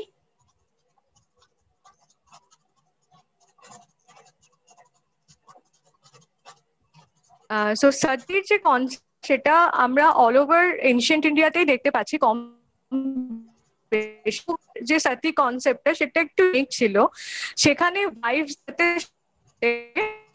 হাজবেন্ডেরও সাথে ওয়াইফদের শুনে যে concubine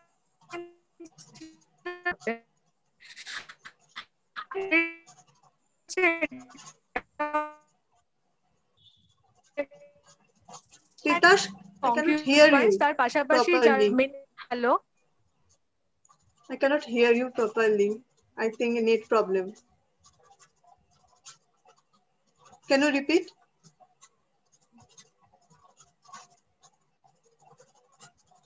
I think uh, there is an internet problem. We cannot do anything about this.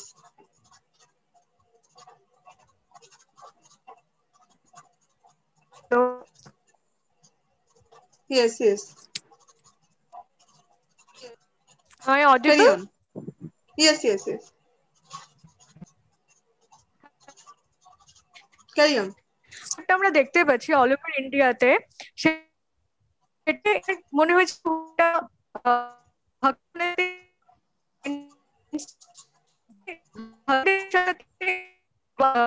তো wife তো এটা practice করতোই পাশাপাশি কিংদের যারা কনকিউবাইন্স ছিল তারাও এটা তারাও সাথে প্র্যাকটিস দেন এখানে কলহনের রাজস্থান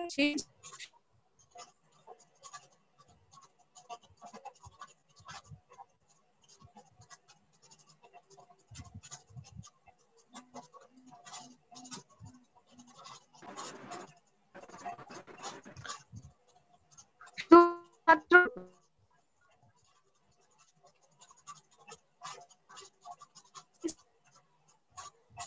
I think জন্য আহ, নিজেদের এই সাথী প্র্যাকটিস করতে বা নিজেদের পুরো, আহ, and এই আমার হয়েছে যে ভক্তারি ইনফ্লুয়েন্সড আছে সাউদার্ন ইন্ডিয়ার ভক্তি সেই সময় আহ,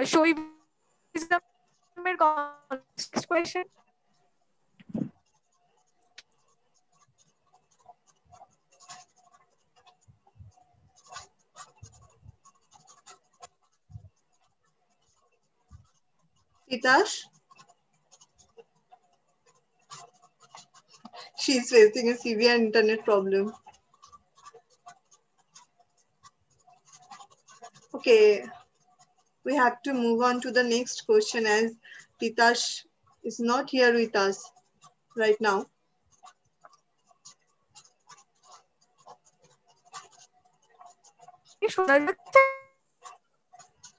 uh.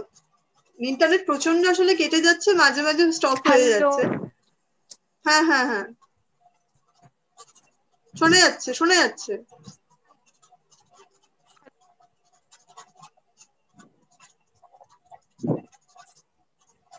এখন শোনা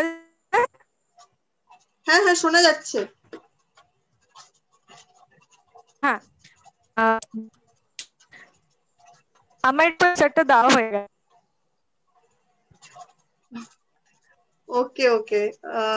আমরা শুনতে পেয়েছি কিছুটা মানে মাঝের পর থেকে আর শোনা যায় ঠিক আছে আমরা সুলগ্না ম্যাম হ্যাঁ কিছু মিঠুন বলছি হ্যাঁ। ওনার নেটটা খুব সমস্যা হ্যাঁ, করছে রেড হ্যাঁ। দেখাচ্ছে শোনা যাচ্ছে না কিছু আপনি পরের জনকে কোশ্চেন করে নিন আপনি পরের জনকে কোশ্চেন করে নিন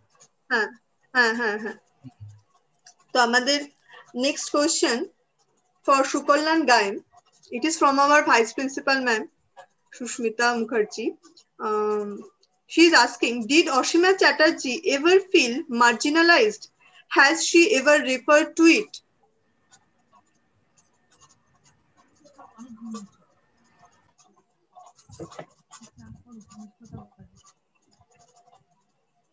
Shukolanda?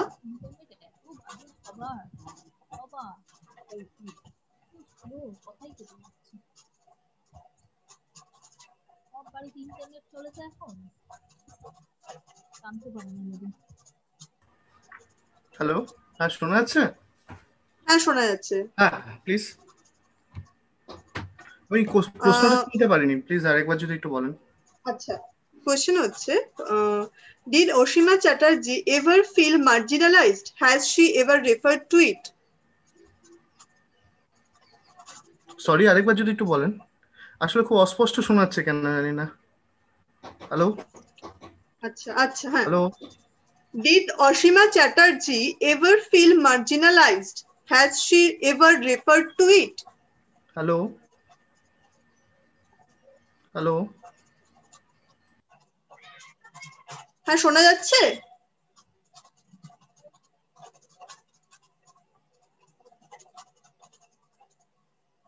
হ্যালো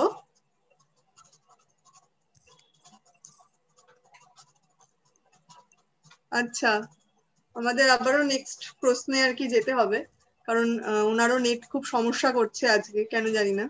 আমি অরিন্দমকে আমার নেক্সট কোশ্চেন করছি অরিন্দমকে প্রশ্ন করেছে Bipasha Dutta when did modern education begin among Apatani tribes আচ্ছা আপাতানি সমাজে মডার্ন এডুকেশন যখন ডেভেলপ করেছিল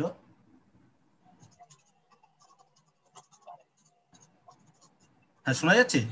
হ্যালো হ্যাঁ হ্যাঁ শোনা যাচ্ছে শোনা যাচ্ছে উনিশশো পঞ্চাশ ষাটের দশক থেকেই আপাতানি সমাজে মডার্ন এডুকেশন ডেভেলপ করতে থাকে সরকারের বিভিন্ন উদ্যোগের সূত্র ধরে নানান এডুকেশনাল পলিসি এবং সেই তার সাথে সাথে বিভিন্ন প্রয়াসের সূত্র ধরে এরপর থেকে এই পঞ্চাশ ষাটের দশকটাই আমরা ধরতে পারি সেই সময় আপাতানিদের যে গ্রাম হ্যারি হাং বুলা দুত্তা এই সমস্ত গ্রামগুলোতে অনেক ছোট ছোট ছোট ছোট স্কুল তৈরি হয় এবং সরকারের প্রত্যক্ষ উদ্যোগে এবং সরকার এই যাতে হাপাতানিরা পড়তে আসতে পারে সেই জন্য স্কলারশিপও চালু করেছিলেন পাঁচ টাকা করে সেই সময় দেওয়া হতো প্রত্যেকটা ছাত্রকে যদি সে স্কুলে আসতে পারে তো এইটা চালু করার পর থেকে শুরুর দিকে মহিলাদের যোগদান অতটা বেশি ছিল না কিন্তু ষাট সত্তরের দশক থেকে মহিলারা ধীরে ধীরে ধীরে ধীরে আসতে থাকে এবং তাদের কর্ম কর্মজগতে এই শিক্ষা জগতে প্রবেশ করার পরের জেনারেশন থেকে মানে অন্তত কুড়ি পঁচিশ বছর থেকে আমরা কর্মজগতে আপাত্তানি অনেক মহিলাদের দেখতে পাই যারা উনিশশো নব্বই দু হাজার সালে অনেক ভালো ভালো পজিশনে আছেন যেরকম অনেকে মেডিকেল ট্রেনার হিসাবে আছেন অনেকে নার্সিং ট্রেনিং করছেন কেউ ডেভেলপমেন্ট অফিসার কেউ ইঞ্জিনিয়ার এবং নেফার একাধিক যে বিভিন্ন জায়গাগুলো অরুণাচল প্রদেশে যে একাধিক সেকশন আছে বিভিন্ন সরকারি চাকরিতে তাদের মানে যোগদান অনেক বেশি এবং আমরা দেখব যে আপাতানি মহিলা আপাতানিরা সংখ্যায় অনেক কম মাত্র ষাট হাজার এদের জনসংখ্যা কিন্তু গুণগত মানের ভিত্তিতে মানে কোয়ালিটিতে অনেক হাই এখানকার মহিলারা এবং আপাতানি মানে যত রকম যে বিভিন্ন জায়গাগুলো আছে যে সরকারি পদ আছে সেই সরকারি পদে সব থেকে বেশি আপাতানি মহিলাদের সংখ্যা দেখতে পাওয়া যায় অথচ জনসংখ্যা মাত্র ষাট হাজার সেখানে অন্যান্য জনজাতি যাদের দু লাখ তিন লাখ করে আদি নিশি এদের জনসংখ্যা দু লাখ তিন লাখ করে অথচ এদের বাড়ির মহিলারা কিন্তু এখনো পশ্চাৎপদ আহ তো এই ব্যাপারটা আমরা দেখতে পাই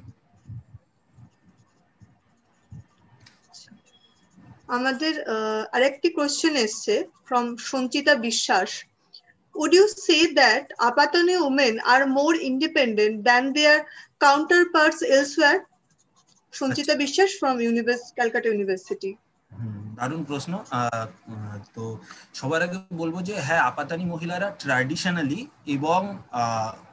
মানে মডার্ন ওয়ার্ল্ডে এসেও তারা যথেষ্ট বেশি প্রোগ্রেসিভ তুলনায় কিন্তু অন্যান্য যে ম্যামও বলছিলেন আমাদের চেয়ারপারসন ম্যাম উনিও বলেছিলেন যে অন্যান্য মহিলাদের অবস্থান কি সেই জায়গায় আপাতানিরা কোথায় দাঁড়িয়ে এখানে সবার আগে বলবো যে আপাতানি মহিলারা কিন্তু অন্যান্য যে ট্রাইব আছে সেই সমস্ত মহিলাদের থেকে অনেক বেশি এগিয়ে কারণ অন্যান্য সমাজে এখনো অবধি পুরুষতন্ত্রের শিকার হতে হচ্ছে অনেক মহিলা যদি মানে স্বামী ছাড়া কোনো অন্য কোনো অ্যাফেয়ারে জড়িয়ে পড়ে তাদের আঙুল কেটে নেওয়া হয় মিশনি মহিলাদের সাথে এটা করা হয় আপাতানি মহিলারা কিন্তু সেখানে নিজের স্বামী নির্বাচনের সুযোগ পায় এবং এটা ট্র্যাডিশনালি এটা কিন্তু রিসেন্টলি হচ্ছে না এটা বহুদিন ধরেই চলছে সে চাইলে সেপারেট থাকতে পারে পঞ্চায়েতের কাছে আবেদন করে সে বুলিয়াং এর কাছে আবেদন করে সেপারেট থাকতে পারে আর সব থেকে বড় জিনিস কোনো আপাতানি মহিলা মানে আপাতানিদের এটাই নিয়ম যে কোনো ছেলে যদি তার কোনো পরিবারের কোনো ছেলে যদি বিয়ে করে নেয় তবে তাকে বউয়ের সাথে সেপারেট থাকতেই হবে অন্য কোনো অপশন নেই তো ফলে সে সেখান থেকেও ওই যে জেনারেলি হয় কি যে পুরুষতন্ত্রের যে প্রেশারটা ওটা কিছুটা শ্বশুরবাড়ির দিক থেকে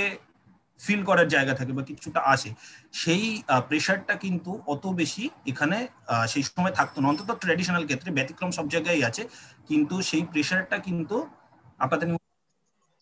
আর আমার কাছে এই মুহূর্তে হাতের কাছে একটা উপন্যাস আছে যে মিনাম এক আদিবাসী নারী কি সংঘর্ষ কথা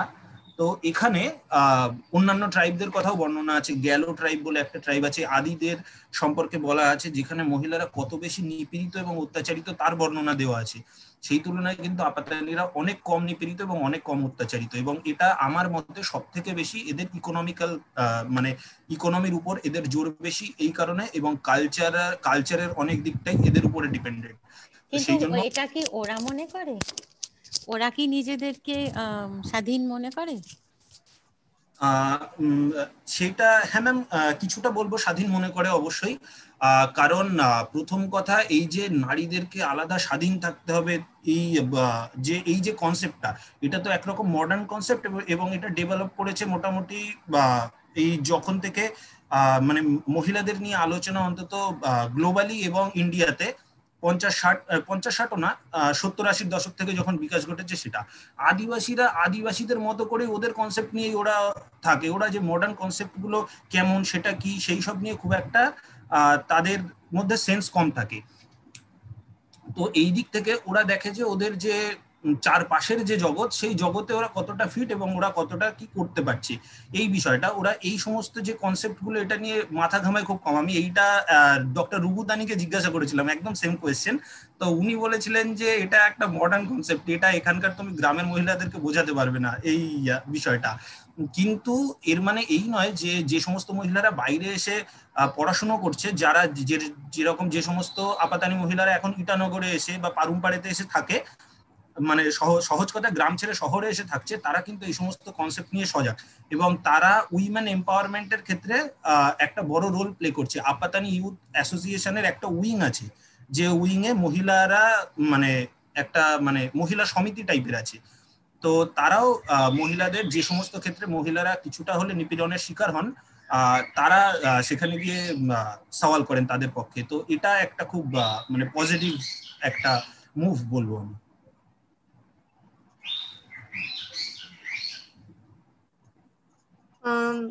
অরিন্দমের জন্য আর একটা প্রশ্ন আছে তবে আমরা একটু পরে আবার ফিরে আসব কারণ আমাদের আচ্ছা। সুকল্যাণ গায়ন আমাদের সঙ্গে এখন আছে এবং সুকল্যাণ গায়নকে একটু আগে আমরা যোগাযোগ করার চেষ্টা করছিলাম ওনার জন্য একটি প্রশ্ন আছে সরি আমি আর নেটওয়ার্কে একটু সমস্যা হয়েছিলাম যে কারণে আমি বেরিয়ে গেছিলাম হ্যাঁ ম্যামের যে প্রশ্নটা ম্যাম যেটা করেছিলেন যে বিষয়টা যে মার্জালাইজ তার মনে হয়েছে কেন এর প্রসঙ্গে মনে করি তার তার লেখায় কিন্তু সেভাবে কখনো সে উল্লেখ হয়নি হ্যাঁ তবে একটা বিষয় তিনি বলছেন তার তখনই মনে হয়েছিল যখন এক বছরে কয়েক মাসের ব্যবধানে তার বাবা এবং তার স্বামী যখন মারা যান সেই সময় কিন্তু তার কিন্তু প্রচন্ড পরিমাণে মার্জারিস্ট মনে হয় সেই সময়টা কারণ সেই সময় তাকে সেইভাবে সাহায্য করার মতন কোনো হাত পাচ্ছেন না মানে কি করবেন তার গবেষণার জগতে যে তার হাজবেন্ড একটা বড় তার হাজবেন্ড তার গবেষণার জগতে একটা বড় দিশারি ছিল তাকে বিভিন্ন কাজে সাহায্য করতেন সেই দৃশ্যটা তিনি তখন হারিয়ে ফেলছেন তখন তিনি যেটা করলেন কিনি তখন তিনি যেটা করলেন সেটা হচ্ছে রামকৃষ্ণ মিশনের সঙ্গে তিনি যোগাযোগ করলেন করতেন কারণ এর আগে যখন তিনি ক্যালিফোর্নিয়া থাকতেন তখনও সেখানে স্বামীজির সাথে সাথে যোগাযোগ ছিল ফলে সে রামকৃষ্ণ মিশনের সঙ্গে তার মনকে ভালো রাখার জন্য বা বিভিন্ন ক্ষেত্রে তার কাজের বাইরেও যদি কিছু থাকে সেক্ষেত্রে তিনি যুক্ত হয়েছেন সেই রামকৃষ্ণ মিশনের নানা কাজে বা সেখানে তিনি যেতেন এবং পাশাপাশি তার যে কাজ যে কাজগুলো করতেন যে পরবর্তীকালে যে আশি দশকে তিনি রাজ্যসভা সভাপতি রাজ্যসভা সাংসদ তিনি হয়েছিলেন রাজ্যসভায় সে কাজে কিন্তু তিনি নিজেকে ব্যস্ত রেখেছিলেন সর্বত্রভাবে যে কারণে অর্থাৎ কখনো তার সেইভাবে কিন্তু মনে হয়নি সেই সময়টা বাদ দিয়ে okay ma'am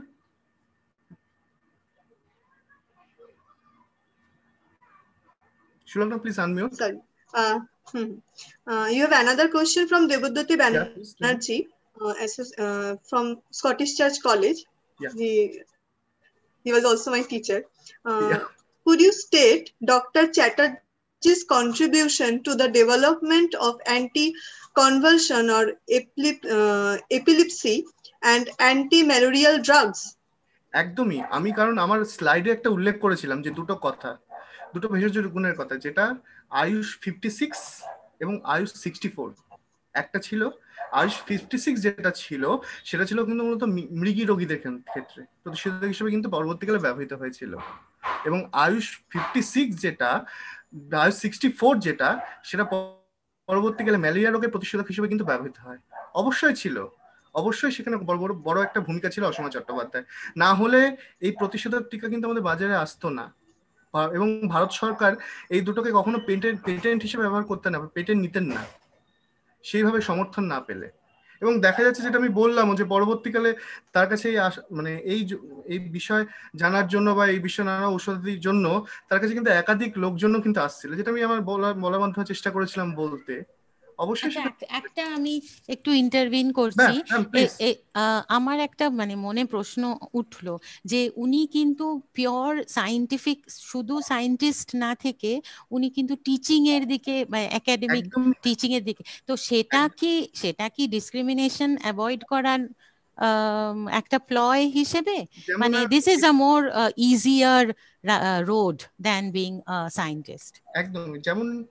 প্রথমত যে সময় সব থেকে বড় সমস্যা ছিল তিনি যেটা ফিল করেছিলেন টিচিং এর কথা যখন বললেন তিনি টিচিং বা রিসার্চের ক্ষেত্রে তিনি যেটা ফিল করেছেন নিয়ে কাজ করার ক্ষেত্রে যেটা বৃত্তির সমস্যা যে প্রথাগত বৃত্তি কোথা থেকে আসবে বা সেটা কোথা থেকে আসবে সেই ক্ষেত্রেও কিন্তু তিনি মূল ভূমিকা নিলেন যে আগামী দিনে বা আগামী দিনে ছাত্রছাত্রীরা যাতে এই বিষয়ে আরো গবেষণা করতে পারে কারণ একটা সায়েন্সের বিভিন্ন প্রোডাক্ট যখন এত তার দামও বিরাট এবং সেখানে বৃত্তি না পেলে কখনোই তাদের পক্ষে সম্ভব না তাদের সেই রিসার্চটাকে এগিয়ে নেওয়ার জন্য এবং সে সে বৃত্তিও কিন্তু তিনি চালু করেছিলেন তার উদ্যোগে কিন্তু একটা বড় ভূমিকা নিয়েছিল সেক্ষেত্রে অর্থাৎ তার মূলত ভালোবেসে এটা কিন্তু সেই ভালোবাসা থেকেই তার যে প্রফেশনটা সেটা কিন্তু মূলত ভালোবাসা থেকেই এসেছে যে কারণে একের পর এক তিনি কাজ করছেন করে চলেছিলেন একদিকে বিজ্ঞান পরিষদের সংগঠন সামলাচ্ছেন অন্যদিকে নিজের কাজটাকে চালিয়ে চালিয়ে যাচ্ছেন রাজ্যসভায় সেখানে কাজ সামলাচ্ছেন একাধিক মনে হয় আমার মনে হয় অ্যাজ এটা আমি জানি না তোমার গবেষণার কতটা মানে কতটা এগিয়েছে বা শেষ হয়ে হ্যাঁ। গেছে কিনা কিন্তু যত তুমি ওনার লেখা পড়বে সুস্মিতা ম্যাম যে প্রশ্নগুলো তুলছে সেগুলো আস্তে আস্তে ক্লিয়ার হয়ে যাবে এবং ওনার সম্বন্ধে অন্যান্য লোকেদের লেখাও যখন পড়বে বিকজ ওই কোয়েশ্চেনগুলো এর মধ্যে আসতেই হবে কোথাও না কোথাও it has to come in তাহলে একটা সর্বাঙ্গ সুন্দর একটা না কালকে বিভা বিভা চৌধুরীর ব্যাপারে কিন্তু এই প্রশ্নটা এসেছিল যে শি ফেল্ট মার্জিনালাইজ এবং আজ মানে লাস্ট ইয়ার বোধ হয় ওনার নামে নামে একটা স্টারকে মার্ক করা হলো last year so solo she was not recognised at all একদমই মানে বিভা চৌধুরীর কথা এবং আমি এটা জিজ্ঞেস করলাম যে ওনার নামটা ছিল না আমি প্রশ্নটাও করলাম যে এটা কি কেন পেরোকিয়াল ব্যাপার যে বাঙালি বলে ওনার নামটা দেওয়া হচ্ছে না ইন্ডিয়ান সায়েন্টিফিক সিনারি কিন্তু শেখবা চৌধুরীর নাম দেওয়া হচ্ছে না এবং তিনি কিন্তু she was aware of that and she was sad because of that তো এইখানে আমি সেটাই জিজ্ঞেস করছি যে মানে উইমেন সায়েন্টিস্টের এখানে কি উনি কোনোভাবে সেইটা ফিল করছেন বা একেবারে যদি না করেন সেটাও that's also very good sign না but the whole point is তাহলে কোন পার্সোনালিটিজ পার্সোনালিটিজ আর ডিফারেন্ট সেটাও তো ধরতে হবে মানে হ্যাঁ। উনি এক রকমের পার্সোনালিটি ইনি আরেক রকমের পার্সোনালিটি গবেষণার জগৎটাও ম্যাম আলাদা তাদের গবেষণার জগৎটাও আলাদা তাদের তো এইগুলো কিন্তু এইগুলো তোমার যদি পেপারে আনো বেটার হবে আর কি আরো ইন্টারেস্টিং হবে একটু কম্পেয়ার করলে আর কি যে সায়েন্সের ক্ষেত্রে এটা হচ্ছে হ্যাঁ হ্যাঁ এই নীলম কুমারের যে বইটা আছে উইমেন ইন সায়েন্স ইয়া ওটা দেখলে একটা আন্দাজ পাওয়া যায় নীলম কুমারের যে একটা বই যেটা আছে উইমেন ইন সায়েন্স বা ওনার আরেক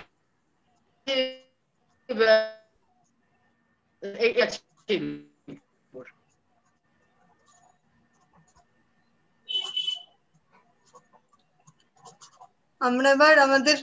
পরবর্তী প্রশ্নে যাই নাকি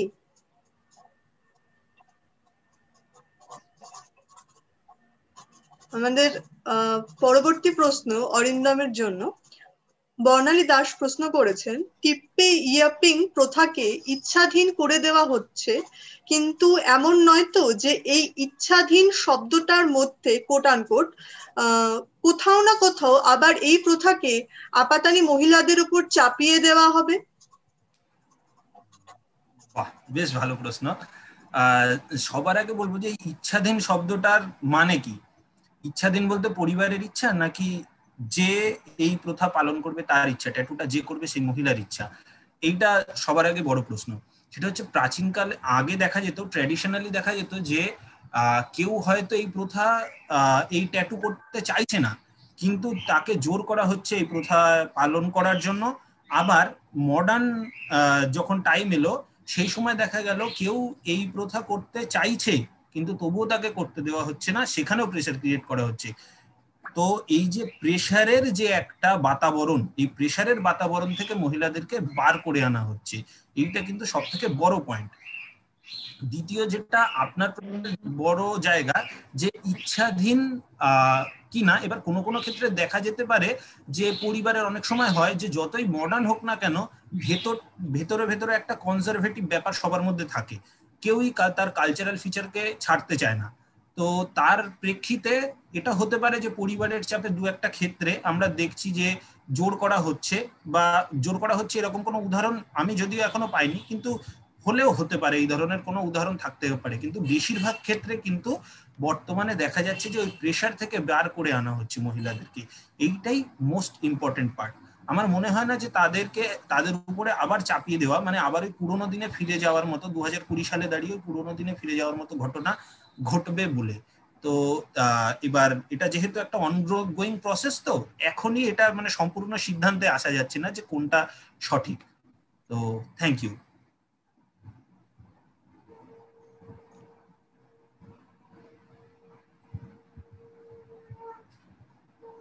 সুলগ্নাদি আনমিউট করতে হবে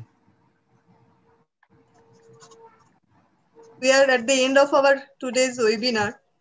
I want to thank our five paper presenters for answering all these questions. And thank you participants also because of their uh, engaging and thought-provoking questions. We enjoyed this question answer session. Um, thank you for making this evening exciting and enjoyable. Uh, now I would like to request our uh, ICC Convenor, uh, convener Nivedita Bhattacharya ma'am to deliver vote of thanks. Ma'am. Thank you, Shulavna. And I'm going to keep my uh, camera off because again of internet problem. Can, uh, can you hear me? Yes, Am I audible? Okay. Yes, ma'am. Uh, uh, yes. After yes, uh, yes, two days of wonderful sessions, it is now my privilege to propose the vote of thanks to all who have helped us in making this webinar a success. On behalf of the Department of History and the Internal Complaints Committee of Shama Prashad College, I would first of all like to thank our eminent resource persons, Dr. Korobi Mitro, Associate Professor, Vijay Krishna Girls College, and Dr. Sharvani Guptu, Professor, Asian Literacy, uh, Literary and Cultural Studies Netaji Institute of, for Asian Studies for having taken out the time from their busy schedule to grace this webinar and for their insightful reflections on this very pertinent topic. I would like to thank all our paper presenters, namely Dr. Riti Bhattacharya, Barvi Roy, Anirban Guho Thakurta, Dr. Chandrabali Dash, Tina Basu, Tita Sharkar, Pushpo Das, Shagota Odhikari, Arindam Ghosh, and Shukolan Gayan for their very knowledgeable discourses. My sincere thanks goes to our Vice Principal Madam, Dr. Shushmita Mukherjee, for having always encouraged us in organizing this webinar. A big thank you to our moderator, uh, Shulagna Shom, and the organizing com committee, and our superb technical team of Damini Ray, Arnab Odhikari, and Mithun Gayan. Last but not the least, a very big thank you to all our participants who have enriched this webinar with their presence and valuable comments and questions.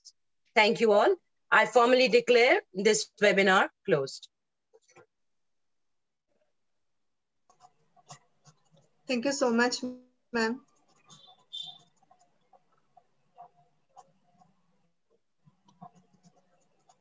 Shushmita ma'am, do you want to add anything with it?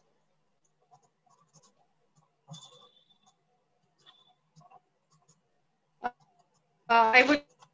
uh, add one or two things. I would like to uh, thank my friend Sharbani uh, for illuminating us on the actress of Bengal and how they operated within the patriarchal domain, yet kept the, the research scholars presenting the papers, which were extremely engrossing and absorbing. And it actually ranged from Kashmir to Northeast India, touching other parts. And uh, uh, I am very certain that observations of Guptu, Professor Sharbani Guptu, have helped you all a lot and uh, it will help us. And it was an extremely engrossing and excellent interactive session. And every one of us have been enriched by this. Thank you, everyone, for your